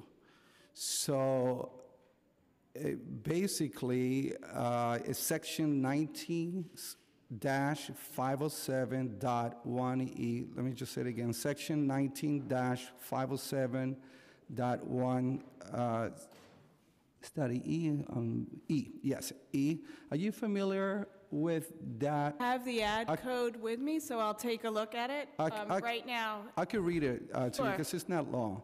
A taxi cab or for hire vehicle shall not be subject to an assessment of points against his or her commission-issued driver's license or the imposition of duplicate penalties where the same act is a violation of the provision of law under the commission rules and where such violations duplicate each other or are substan- substantively the same and such driver may not be issued uh, may be issued only one summon or notice of violation for such violation. That is correct. Okay. I, I do, and I think we had a productive discussion yesterday. Um, I, I honestly believe that the way our critical driver program works, people feel like they're getting two tickets for the same act. Um, What's happening is they're getting a ticket from us because they've accrued a certain number of DMV points. They're also getting it at a time that doesn't make sense because it's too far away from when the act happened, the running a red light, the speeding. So yes, you cannot ticket anybody, and I think this is a rule of law that extends beyond TLC. Nobody should be ticketed or arrested or charged twice for the same exact act, and we absolutely um, would abhor that happening, prohibit that from happening. But we do need to look productively at how to address the critical driver program so it does what Councilmember Lander was emphasizing, it protects us against unsafe drivers, but it does more than that. It, te- it teaches drivers um, the, the penalties of being unsafe in a way that's productive. And today, I believe it does not achieve that goal, and I would look forward to working with you on solutions for how we could get there. Uh, uh, Commissioner, I welcome that. I'm looking forward to some uh, good discussions and to a great outcome uh, to achieve that goal. I'm, I'm happy to hear, if I understand this right, uh, that we are adhering to this piece of the law and that what we have is a delay, there is a delay that's taking place that an accumulation of points that it seems to be, uh, one is causing the other, but it's not, right? Is that what I, Yes, uh, it, it's an, Sure. it's a very confusing section of law. Um, and the effect is, I think people get tickets related to incidents in the past and they don't understand why. And that's not productive for anybody. Our goal is to change behavior. And if you're just confused, we're not meeting our goal. I, I would love to see some language uh, from your legislative team uh, that would accomplish the goal that I think we all want, and at the same time, uh, we could uh, have safety uh, standards and, um, and, and guides, uh, and at the same time, we are able to make sure that our there, that if somebody gets a ticket, it's just for that one thing and that thing alone. And Oath is well aware of that, so they would not allow anything to go forward if there was two tickets for the same offense. Okay. Uh, I- The the other piece that might be here, Danny, it seems to me that maybe there's an educational piece that needs to take place. Um, Certainly, we do about, I mean, I think we've done almost 300 base visits to, to talk to drivers about Vision Zero. Um, But we've also started another educational initiative where we're going to do driver open houses in different areas. I implore people to let me know if they want one in their area, and we will speak to drivers about individual summonses that they have and questions that they have. Um, And the feedback so far has been positive because they feel more comfortable asking us questions and we're able to get to resolutions. I think I have to come back to what I think is a basic principle. If we're not communicating, it's going to be difficult for us to understand the driver's predicament and the drivers to understand where we're coming from. So we look forward to additional open houses and more opportunities for outreach. Is there any way that we could do a mass mailing uh, to all delivery uh, uh, individuals uh, with this information and others that might seem a bit confusing and bring clarity? So we have, I think there's a few opportunities for us to decide what are the main issues we want to clarify. What we do now is mass emails, um, because nobody looks at their mail anymore, so we have to that's true. send them by email.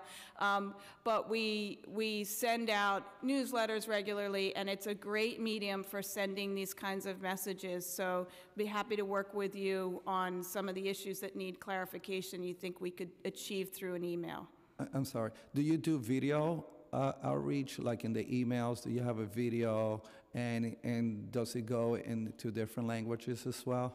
Uh, We do, we haven't done video attached to our email in different languages. We do have videos in different languages on our website, but combining the two, we haven't done yet. That's not difficult to do, but it's certainly um, an excellent way to communicate because videos tend to be more engaging than words on a page. Indeed, and to make them short and with a, even with an iPhone, you could do those. So, uh, and my last question is, uh, and I'm asking because I really don't know the answer to this question. Why do more people tend to go towards Uber than the green cabs? If if you got such a great deal, uh, I'm a little confused. Why not? In the green caps, as I remember, you could pick people in the street outside of the restricted zone. So I think everybody makes a personal financial decision. Um, Timing is a little bit to do with it. Green cabs came on the scene at the same time Uber was growing. Um, And there is a lot of incentives that are offered by companies like Lyft and Uber to join, um, to help them lease a car, to help with um, bonuses. And I think that is, is a understandably a reason that attracts people there. Um, the green cabs, uh, I think, have, a, I know, have a lot of opportunity, but under, getting people to understand what that opportunity is is work we have ahead of us because they can pick up off the street and they pick, can pick up calls from the base and now they can pick up accessible dispatch calls and they can pick up Access-A-Ride calls. So their opportunities to earn for the individual driver are just expanding. Um, and so I'd like to see also with our new for-hire accessibility mandate that we can incorporate more accessible green cabs into the fleet because they're an important asset for neighborhoods that want hail service. Thank you so much, uh, Commissioner, Mr. Chair. I would love to work with you. I know we've been working a lot closely in this issue. I would love to work on, since we, we have the law that we cannot, they cannot be double ticket, and there seems to be a gap in time in where they're getting the, the first ticket and then the accumulation, how we can remedy that through policy or legislation, uh, and also how we could um, uh, explore this possibility of putting a cap that I think a lot of the council members, and maybe now is the time to talk to the council of livery uh, based on Thank it. you, Councilmember Cabrera. I have been praying since I got here and I was appointed a chair of this committee. I've been praying, begging for you to become member of this committee. So, you know, I want to work with you. I, I'm trying to trade with somebody at committee. You I, are- I want- I I haven't you- been successful. You and, and Salamanca to be member of this committee. And thank you, uh, Mr. Chair, and, and I'm looking forward for us to get in together. I, I, I'm hearing the commissioner that she wants to move forward in these things, and I hear that, I, I think that we, we may have a, a a blueprint that we could work on, and that would be an awesome thing for all of our people. Muchas gracias. Eh, Gracias, gracias, mi querido reverendo, por su participación. Now we have Council Member Jumaane Williams, and with this, we're going to finish our, so you, you will be really. Thank you, uh, Mr. Chair. Um, Thank you, uh, Chair, uh, for being here. Um, First, obviously, uh, there's a lot of issues going on with transportation and, and uh, fire vehicles and everything. I think there were issues before AV uh, uh, Uber that I had, uh, even with the existing FHVs. I do believe Uber is not regulated enough. I did support the cap. I can see why people are frustrated, particularly green cabs. I mean, I, I want to honor their experience. They were told something, it's not true, um, and a lot of them are, are losing money. And so we, we have to find a way to address that. Um, and I, I think we got to move a little faster with the way we exist to incorporate the Ubers and the Lyfts that do, I think, have an unfair advantage. So I'm hoping we can uh, work that out. My, my, uh, the focus on my question is about uh, uh, community vans and uh, commonly called dollar vans. Um, but I just want to thank you personally and the TLC in general. Uh, we have worked a lot to try to bring them out from the shadows. And we passed some bills, uh, and shout out to Councilmember Daneek Miller and former Councilmember Comrie uh, for the work uh, that they did, and on uh, the chair of the larger committee, Ydanis Rodriguez, for the work and, and making sure we can bring some of them out of the shadows. I know there's a lot of work still left to be done. The city often goes to them in times of emergencies and then kind of ignores them um, during those times. Uh, I know you've had some, some issues with enforcement. So thank you. I know there's been stepped up some, some enforcement. Uh, I think we have to do some more, and we have to get the NYPD uh, to work uh, more in concert. Um, there was an incident where I had to jump in uh, to help a TLC agent that was having a tough time with a bunch of drivers uh, that have, that were around them. And we have made it so that we can hopefully get uh, the illegal van drivers, the ones who don't have insurance, who have don't have licenses, to come into the fold uh, to get those licenses. I, I never want to stop people from making a dollar, and I hate that we're we seem to be pitting people. Uh, for pennies when there's, there's funding out there, so I want to make sure everybody has access. But of course, we can't have people in cars and, and- and vans with no insurances, no licenses, that's a problem. Uh, But I know the enforcement has been an issue, and we're uh, working on, on a bill to try to uh, deal with that issue. I just want to know if you can speak about that for a little while. So the issue with enforcement is we can't stop a van that seats more than 20 people. And more and more, we're seeing illegal operators using larger and larger vehicles. Um, And really, they cause an even worse safety issue because more people are in there, more people are at risk. So what, um, we've had great conversations as as well as with Councilmember Miller on expanding our authority on enforcement to vehicles that are above 20 seats, and that way we can pull over these illegal operators. Combine that with our ability to seize and forfeit these vehicles, which we've had success um, seizing and forfeiting commuter vans that are operating illegally.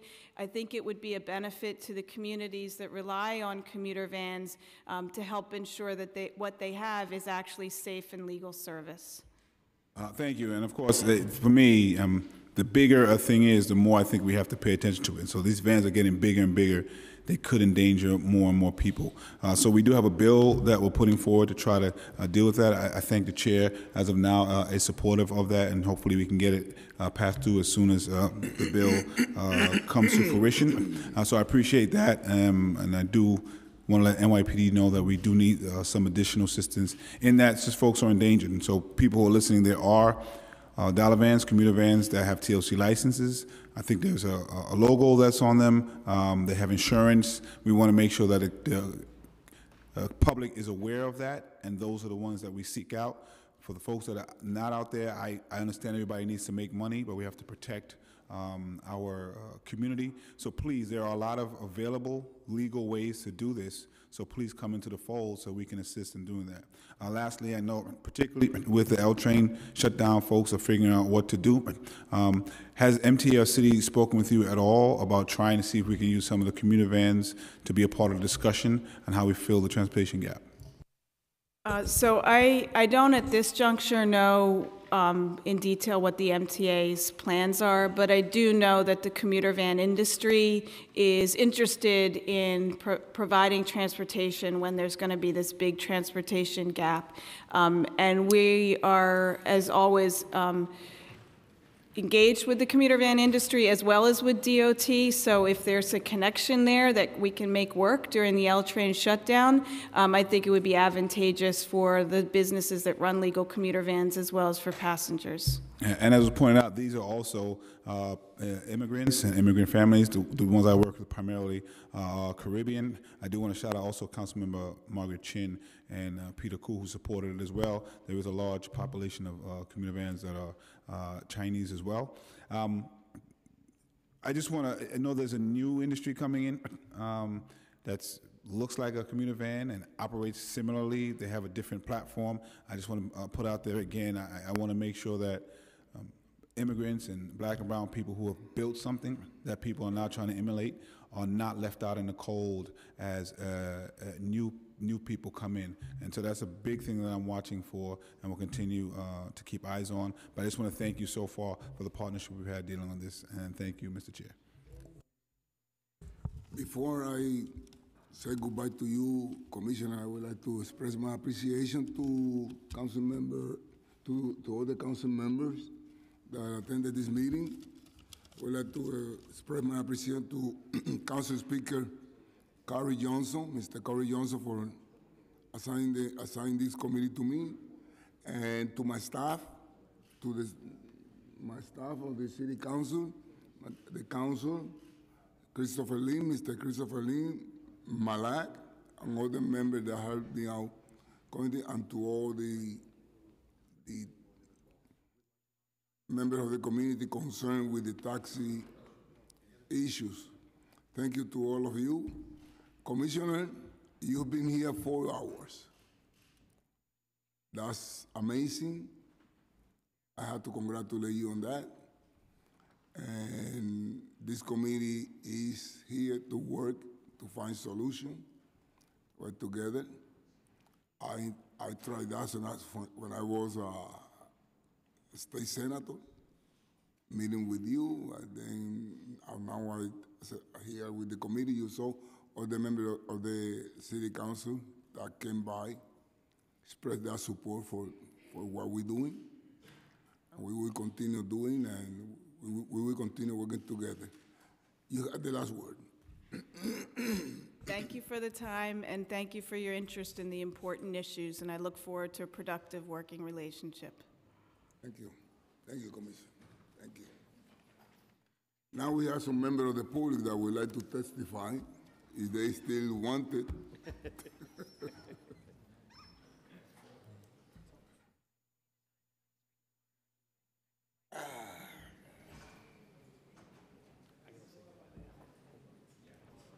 Whoop-de-dee.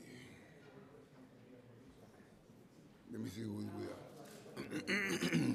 Nicole Epstein, Cassandra Perez, Dis- Sil- Silvestre Cofresi,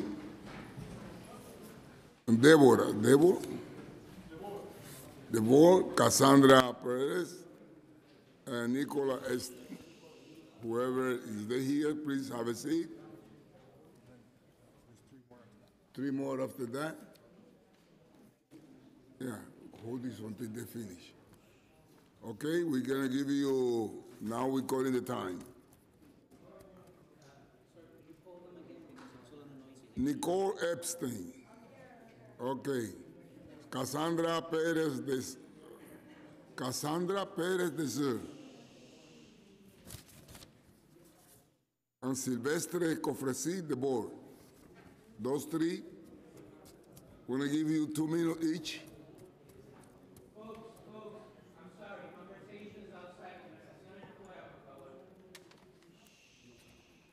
Two minutes each. Oh, this, is- this is more than two minutes.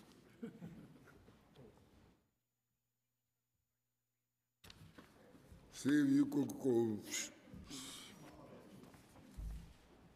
All right, this is who? Testimony of the Committee for Taxi Safety. Uh,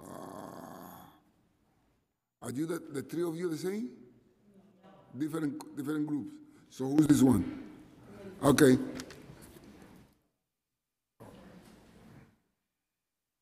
And you, and you are? Cassandra Perez. Okay, Cassandra, go ahead. Okay. I'm uh, speaking on behalf of David Beier. He is the president of the Committee for Taxi Safety, which is comprised of licensed lease agents, which manage approximately 20% of the New York City taxi medallions. Together, they work to provide transportation to 400,000 people every day. We thank you for this opportunity to testify concerning the proposed budget and the fiscal impacts on the yellow taxi industry. First, yellow cabs have the highest accessibility requirement for any for-hire service in New York City. The TLC, when implementing its 50% accessibility requirement, which was prior to the advent of ride-hailing companies such as Uber and Lyft, did not plan for the consequences of imposing a regulation on just one segment. The result has been that the yellow taxi drivers have left our segment in staggering numbers. This has resulted in over 800 valuable medallions being kept off the road and put in storage due to lack of drivers who prefer driving non-accessible vehicles, plus dozens of accessible vehicles sitting idle at garages on any given day. The city has not come up with any coherent program or policy to get these vehicles out of storage and onto the streets. This continues to jeopardize the success of the city's 50% taxi accessibility settlement. Instead, the city has mandated a lesser accessibility requirement for the transportation network companies, which has received lukewarm support at best from disability advocates. This nebulous plan requires all for-hire companies to provide 25% of their rides, not vehicles, in accessible vehicles, starting with just 5% of rides for 12 months commencing July 1st, and an increase of 5% each year following. This plan does nothing to help to get the exis- the existing accessible medallions out of storage, nor does it help fulfill the 50% mandate.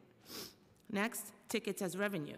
The mayor's 2018 fiscal year executive budget projection indicates that the city expects $11.6 million in revenue for the for-hire industry in summonses and fines, which is an increase of $1.1 million from fiscal year 2017. This significant increase in revenue has hurt drivers and added to a deep distrust between drivers and the city and raises questions concerning the city's motives. Are these summonses issued for public safety concerns, or is the city looking rather to maximize revenue by raising as many tickets as, by issuing as many tickets as possible? Instead, the punitive approach that the city has invoked, the city and the TLC need a more sustainable model of generating revenue and to produce measures that support the industry fairly, to put medallion owners and drivers back on the road. Additionally, without dispute or doubt, everyone is aware that cars for hire illegally cruise the exclusionary zone in Manhattan to obtain passengers. I'm up. Uh, You know what that means, right? That means Time's two minutes are up. Time's up. I got a little bit more, just a little more. Uh, I'll skip forward to Taxi of Tomorrow. When the Uber app initially launched in New York City, drivers did not leave the taxi industry to drive for Uber.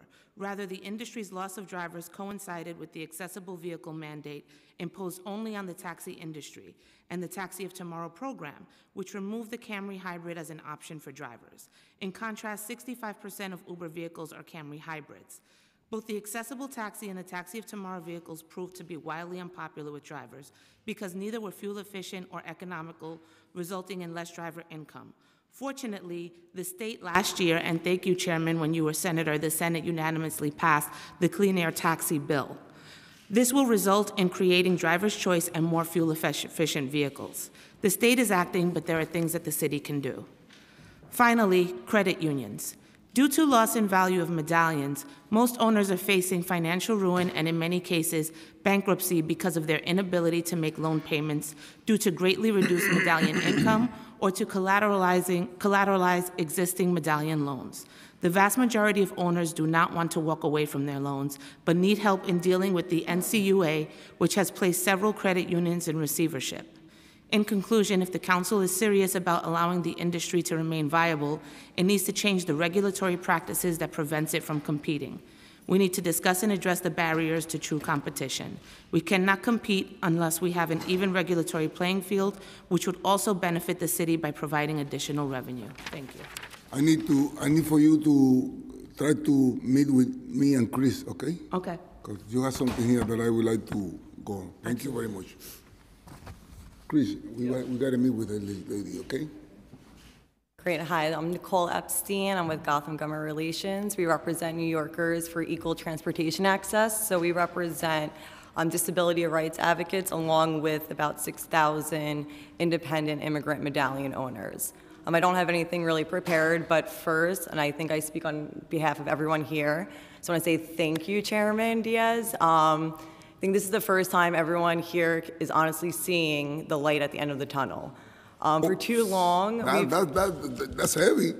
I'm telling you right now, because I mean, I've been involved with this. I mean, everyone here has become like family to me, really, and it's been horrible. Um, you know, back and forth with the Commissioner Joshi. uh, I have to re, you know, reevaluate this or that. Nothing ever happens. I mean, I could tell you right now, when you need to reevaluate, where am I going to get 90 million or whatever amount of million dollars medallion sales? I could tell you the number will be zero. So like, we don't have to reevaluate anything. What we need now is action. So thank you so much for being here and taking, you know, uh, I actually been saying it, um, that you're like the cowboy who's come in, you know, to put an end to the wild, wild west out here because everyone's 401ks or life investments are going down the drain. For example, one thing in particular I want to point out that the commissioner touched upon was um, the TLC going to bases to give uh, safety and, talk to, you know, these. What Uber bases are they going to? Because Uber bases don't exist. They're fake. Uh, actually, we go to them and it's like an empty church with a sign on the door. There's no one there. So I would love to know. And then at the same time, that they go to the bases for safety from July. These are some very interesting statistics. July 2014 to August 2017, there was a 500% increase in the number of crashes by black cars. So it jumped from 534 crashes to 2,644. But then the commissioner is standing here saying how they go to the bases, and the bases don't exist. And then, you know, also one quick thing, very important with the classification of Uber as a black car versus a livery. First of all, right now, Uber operates as both. They could dispatch the livery cars, they could dispatch the black cars, whoever they want to, they do. There's no distinction. Liveries don't pay the sales tax, so Uber gets to do that when they want, and the black cars. So right now, there needs to be a separate category for the e-hails. They need their own thing. There has to be a totally new way to regulate. They can't fit into one of these categories. Otherwise, the industry is going to crumble, so. Thank you. I think that you should read the bill that we, that you submit. Okay, we- I- Yeah. okay. Exactly, it's, thank you. Hi, my name is Silvestri. Um, you know, I'm driving right now for Juno, this app. Before, when I was dri- driving, I used to be started driving yellow cat, uh, green, green taxi, Boro taxi, and I used to really like it. But I think it, the first person, you know, that I think is the responsible for, for kill this business, kill the industries, is TLC, Uber, and Lyft. Why I'm gonna say this? Because, for example, how you think is, for example, when you left, Uber like show down the price. For example, the people normally they take the green taxi, the yellow cab, and for go to the airport, you know, we got like flat fare. But when the Uber started charging like 40 something dollars and the yellow car charging like 60 dollars, who you think is the car the person gonna ask him? They gonna call Uber. Another thing is like TLC Lyft, they do like the pool thing, like you can share the ride, but that's another crazy thing. Like, you know, this killed the business. Thi- That's the reason right now nobody wanna drive a yellow taxi, nobody wanna buy medallion, because you don't wanna invest your money and then you don't got, you know, like security, like how you gonna, you know, working for you can pay you know, this money, like you had to pay for that. So I think you guys had to, you know, like just stop this cancer because I think Uber is a cancer, you know? So if nobody stop it, like they keep doing whatever they want. And so always, you know, she talk about, oh, the city, the benefit, but when is gonna be the benefit for the driver, for the people, you know, wake up every morning like 3, 4, 5 a.m., the people, you know, have moving the city. Okay.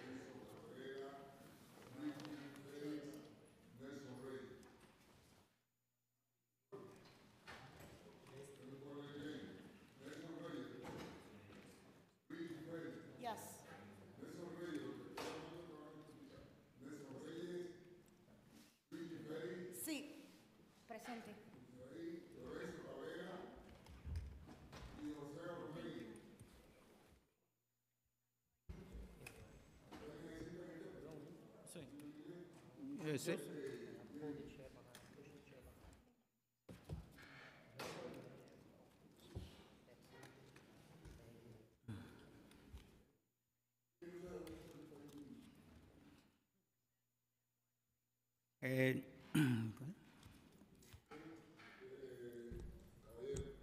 Gracias. Eh, mi nombre es Nelson Reyes. Eh, mi inquietud en exponer eh, esta palabra eh, se debe al gran peso eh, que tengo encima que no me deja vivir. My name is Nelson Eh, Reyes, and I have a big concern that it worries me. Pero los principios que me conforman no me permiten a mí suicidarme, como ya lo han hecho varios tacitas, But que my, aún no lo critico. but my principles that comfort, comfort me do not allow me to commit suicide. Yo acabo de salir de una audiencia de Taxi Limousine el 28 de febrero. I just went to a public hearing at 28 of February acusado por una infamia, una llamada, porque a alguien le interesaba un parqueo que yo lo usé porque me correspondía accused of an injustice of taking a parking spot that it was that I was allowed to take that parking spot.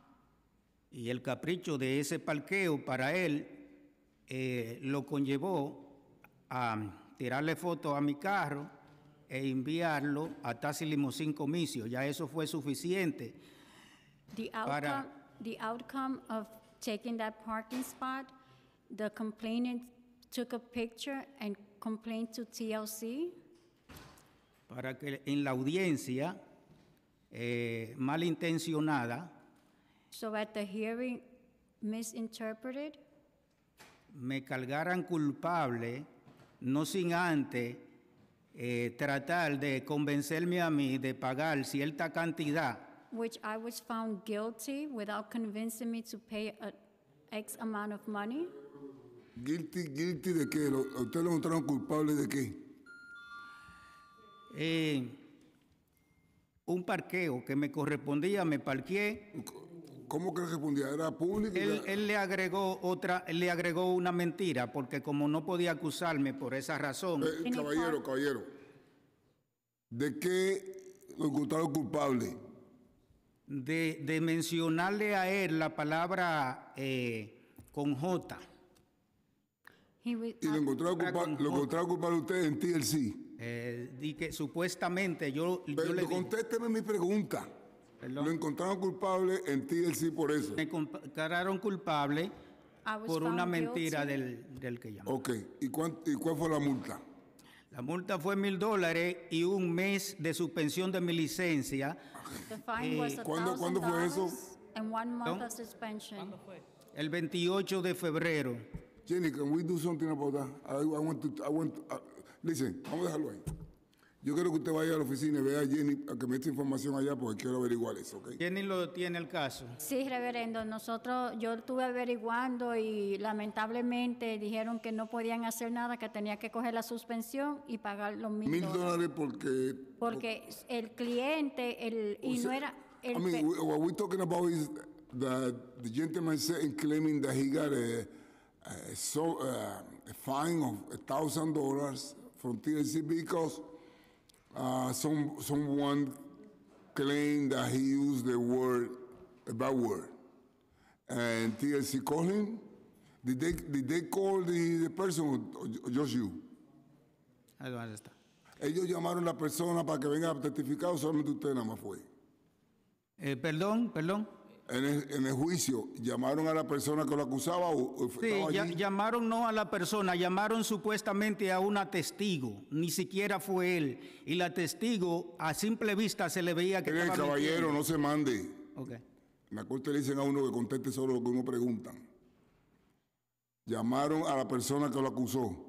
No estaba la persona, estaba la testigo. Vamos a ver, usted habla mucho. Ok. Eh, Jenny, yo hablo con Jenny. Bien, caballero. Eh, Sí, buenas tardes. Mi nombre es Lorenzo Cabrera. Good afternoon, my Eh, name is Lorenzo Cabrera. Eh, bueno, eh, tuve algo similar a lo que le pasó al señor. I had something similar to what happened to the gentleman, eh, la cual el, eh, una persona también me tomó una foto a la placa, me reportó con la TLC in which someone also took a picture of my license plates and reported to TLC. Y de la nada me aparece una carta que me llega que ellos me están mandando a cobrar 300 dólares I was accused and I was being charged $300 más tres puntos para la licencia. plus three points on the license. Eh, sí, sí, en la carta. Eh, bueno, ya luego me mandan otra carta Then they sent me another letter para si yo me declaro culpable o no. Eh, sí, sí. Eh, bueno, yo fui a la corte I went to the court. y yo lamentablemente soy de la persona que hay que contarme los números cómo van. La persona no fue. The person didn't go. No, no. Eh, no. Eh, no, todavía no.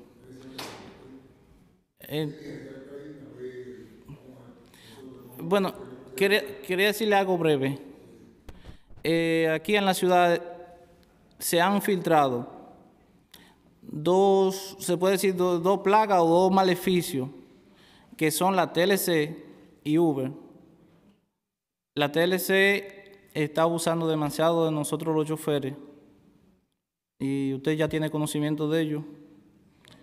Y cre- creo que ustedes tienen la capacidad de que por, por ley de ustedes seamos regidos por Moro Vehículos. Moro Vehículos tiene la capacidad de hacerlo.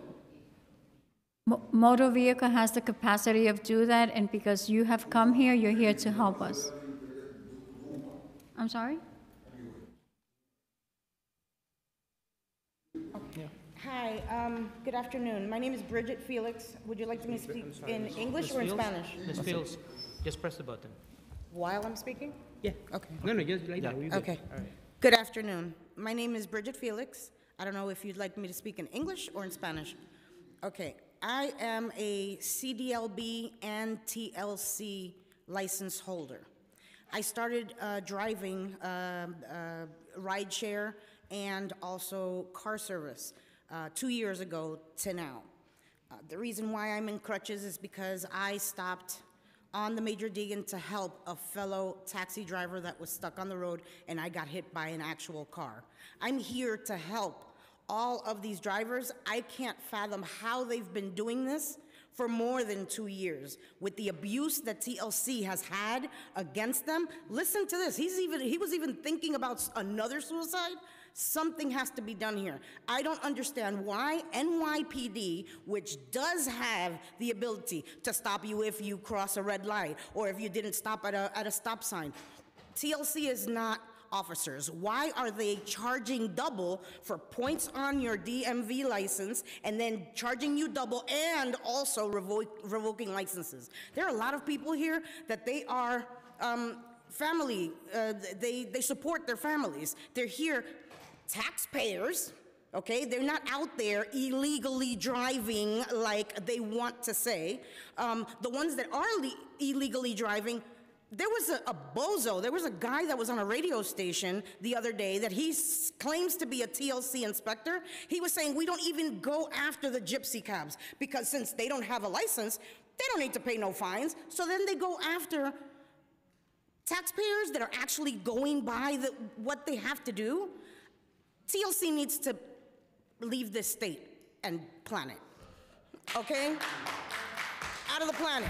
And then they have the audacity to come here and ask for a budget on top of all of these fines that they're putting. I don't pick up in the street. I do everything the way a safety driver, but I feel for these drivers. I, that saddens my heart that a person gets a license revoked over. Th- oh, what can we do? Can we get them out of here and let? I trust NYPD.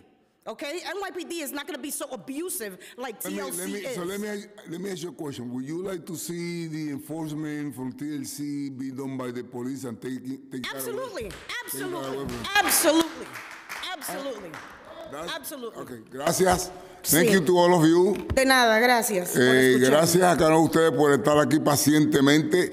El respaldo de ustedes es sumamente importante para este comité. Eh, sin el respaldo de ustedes, es importante que ellos vean que hay un pueblo que, que sufre y un pueblo que en verdad necesita eh, eh, que se arreglen las cosas. Así que muchas gracias a ustedes. Este, hemos llegado al final de, esta, de este maratón otra vez.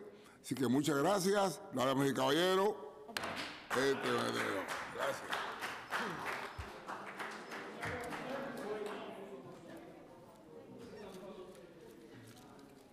Unbelievable.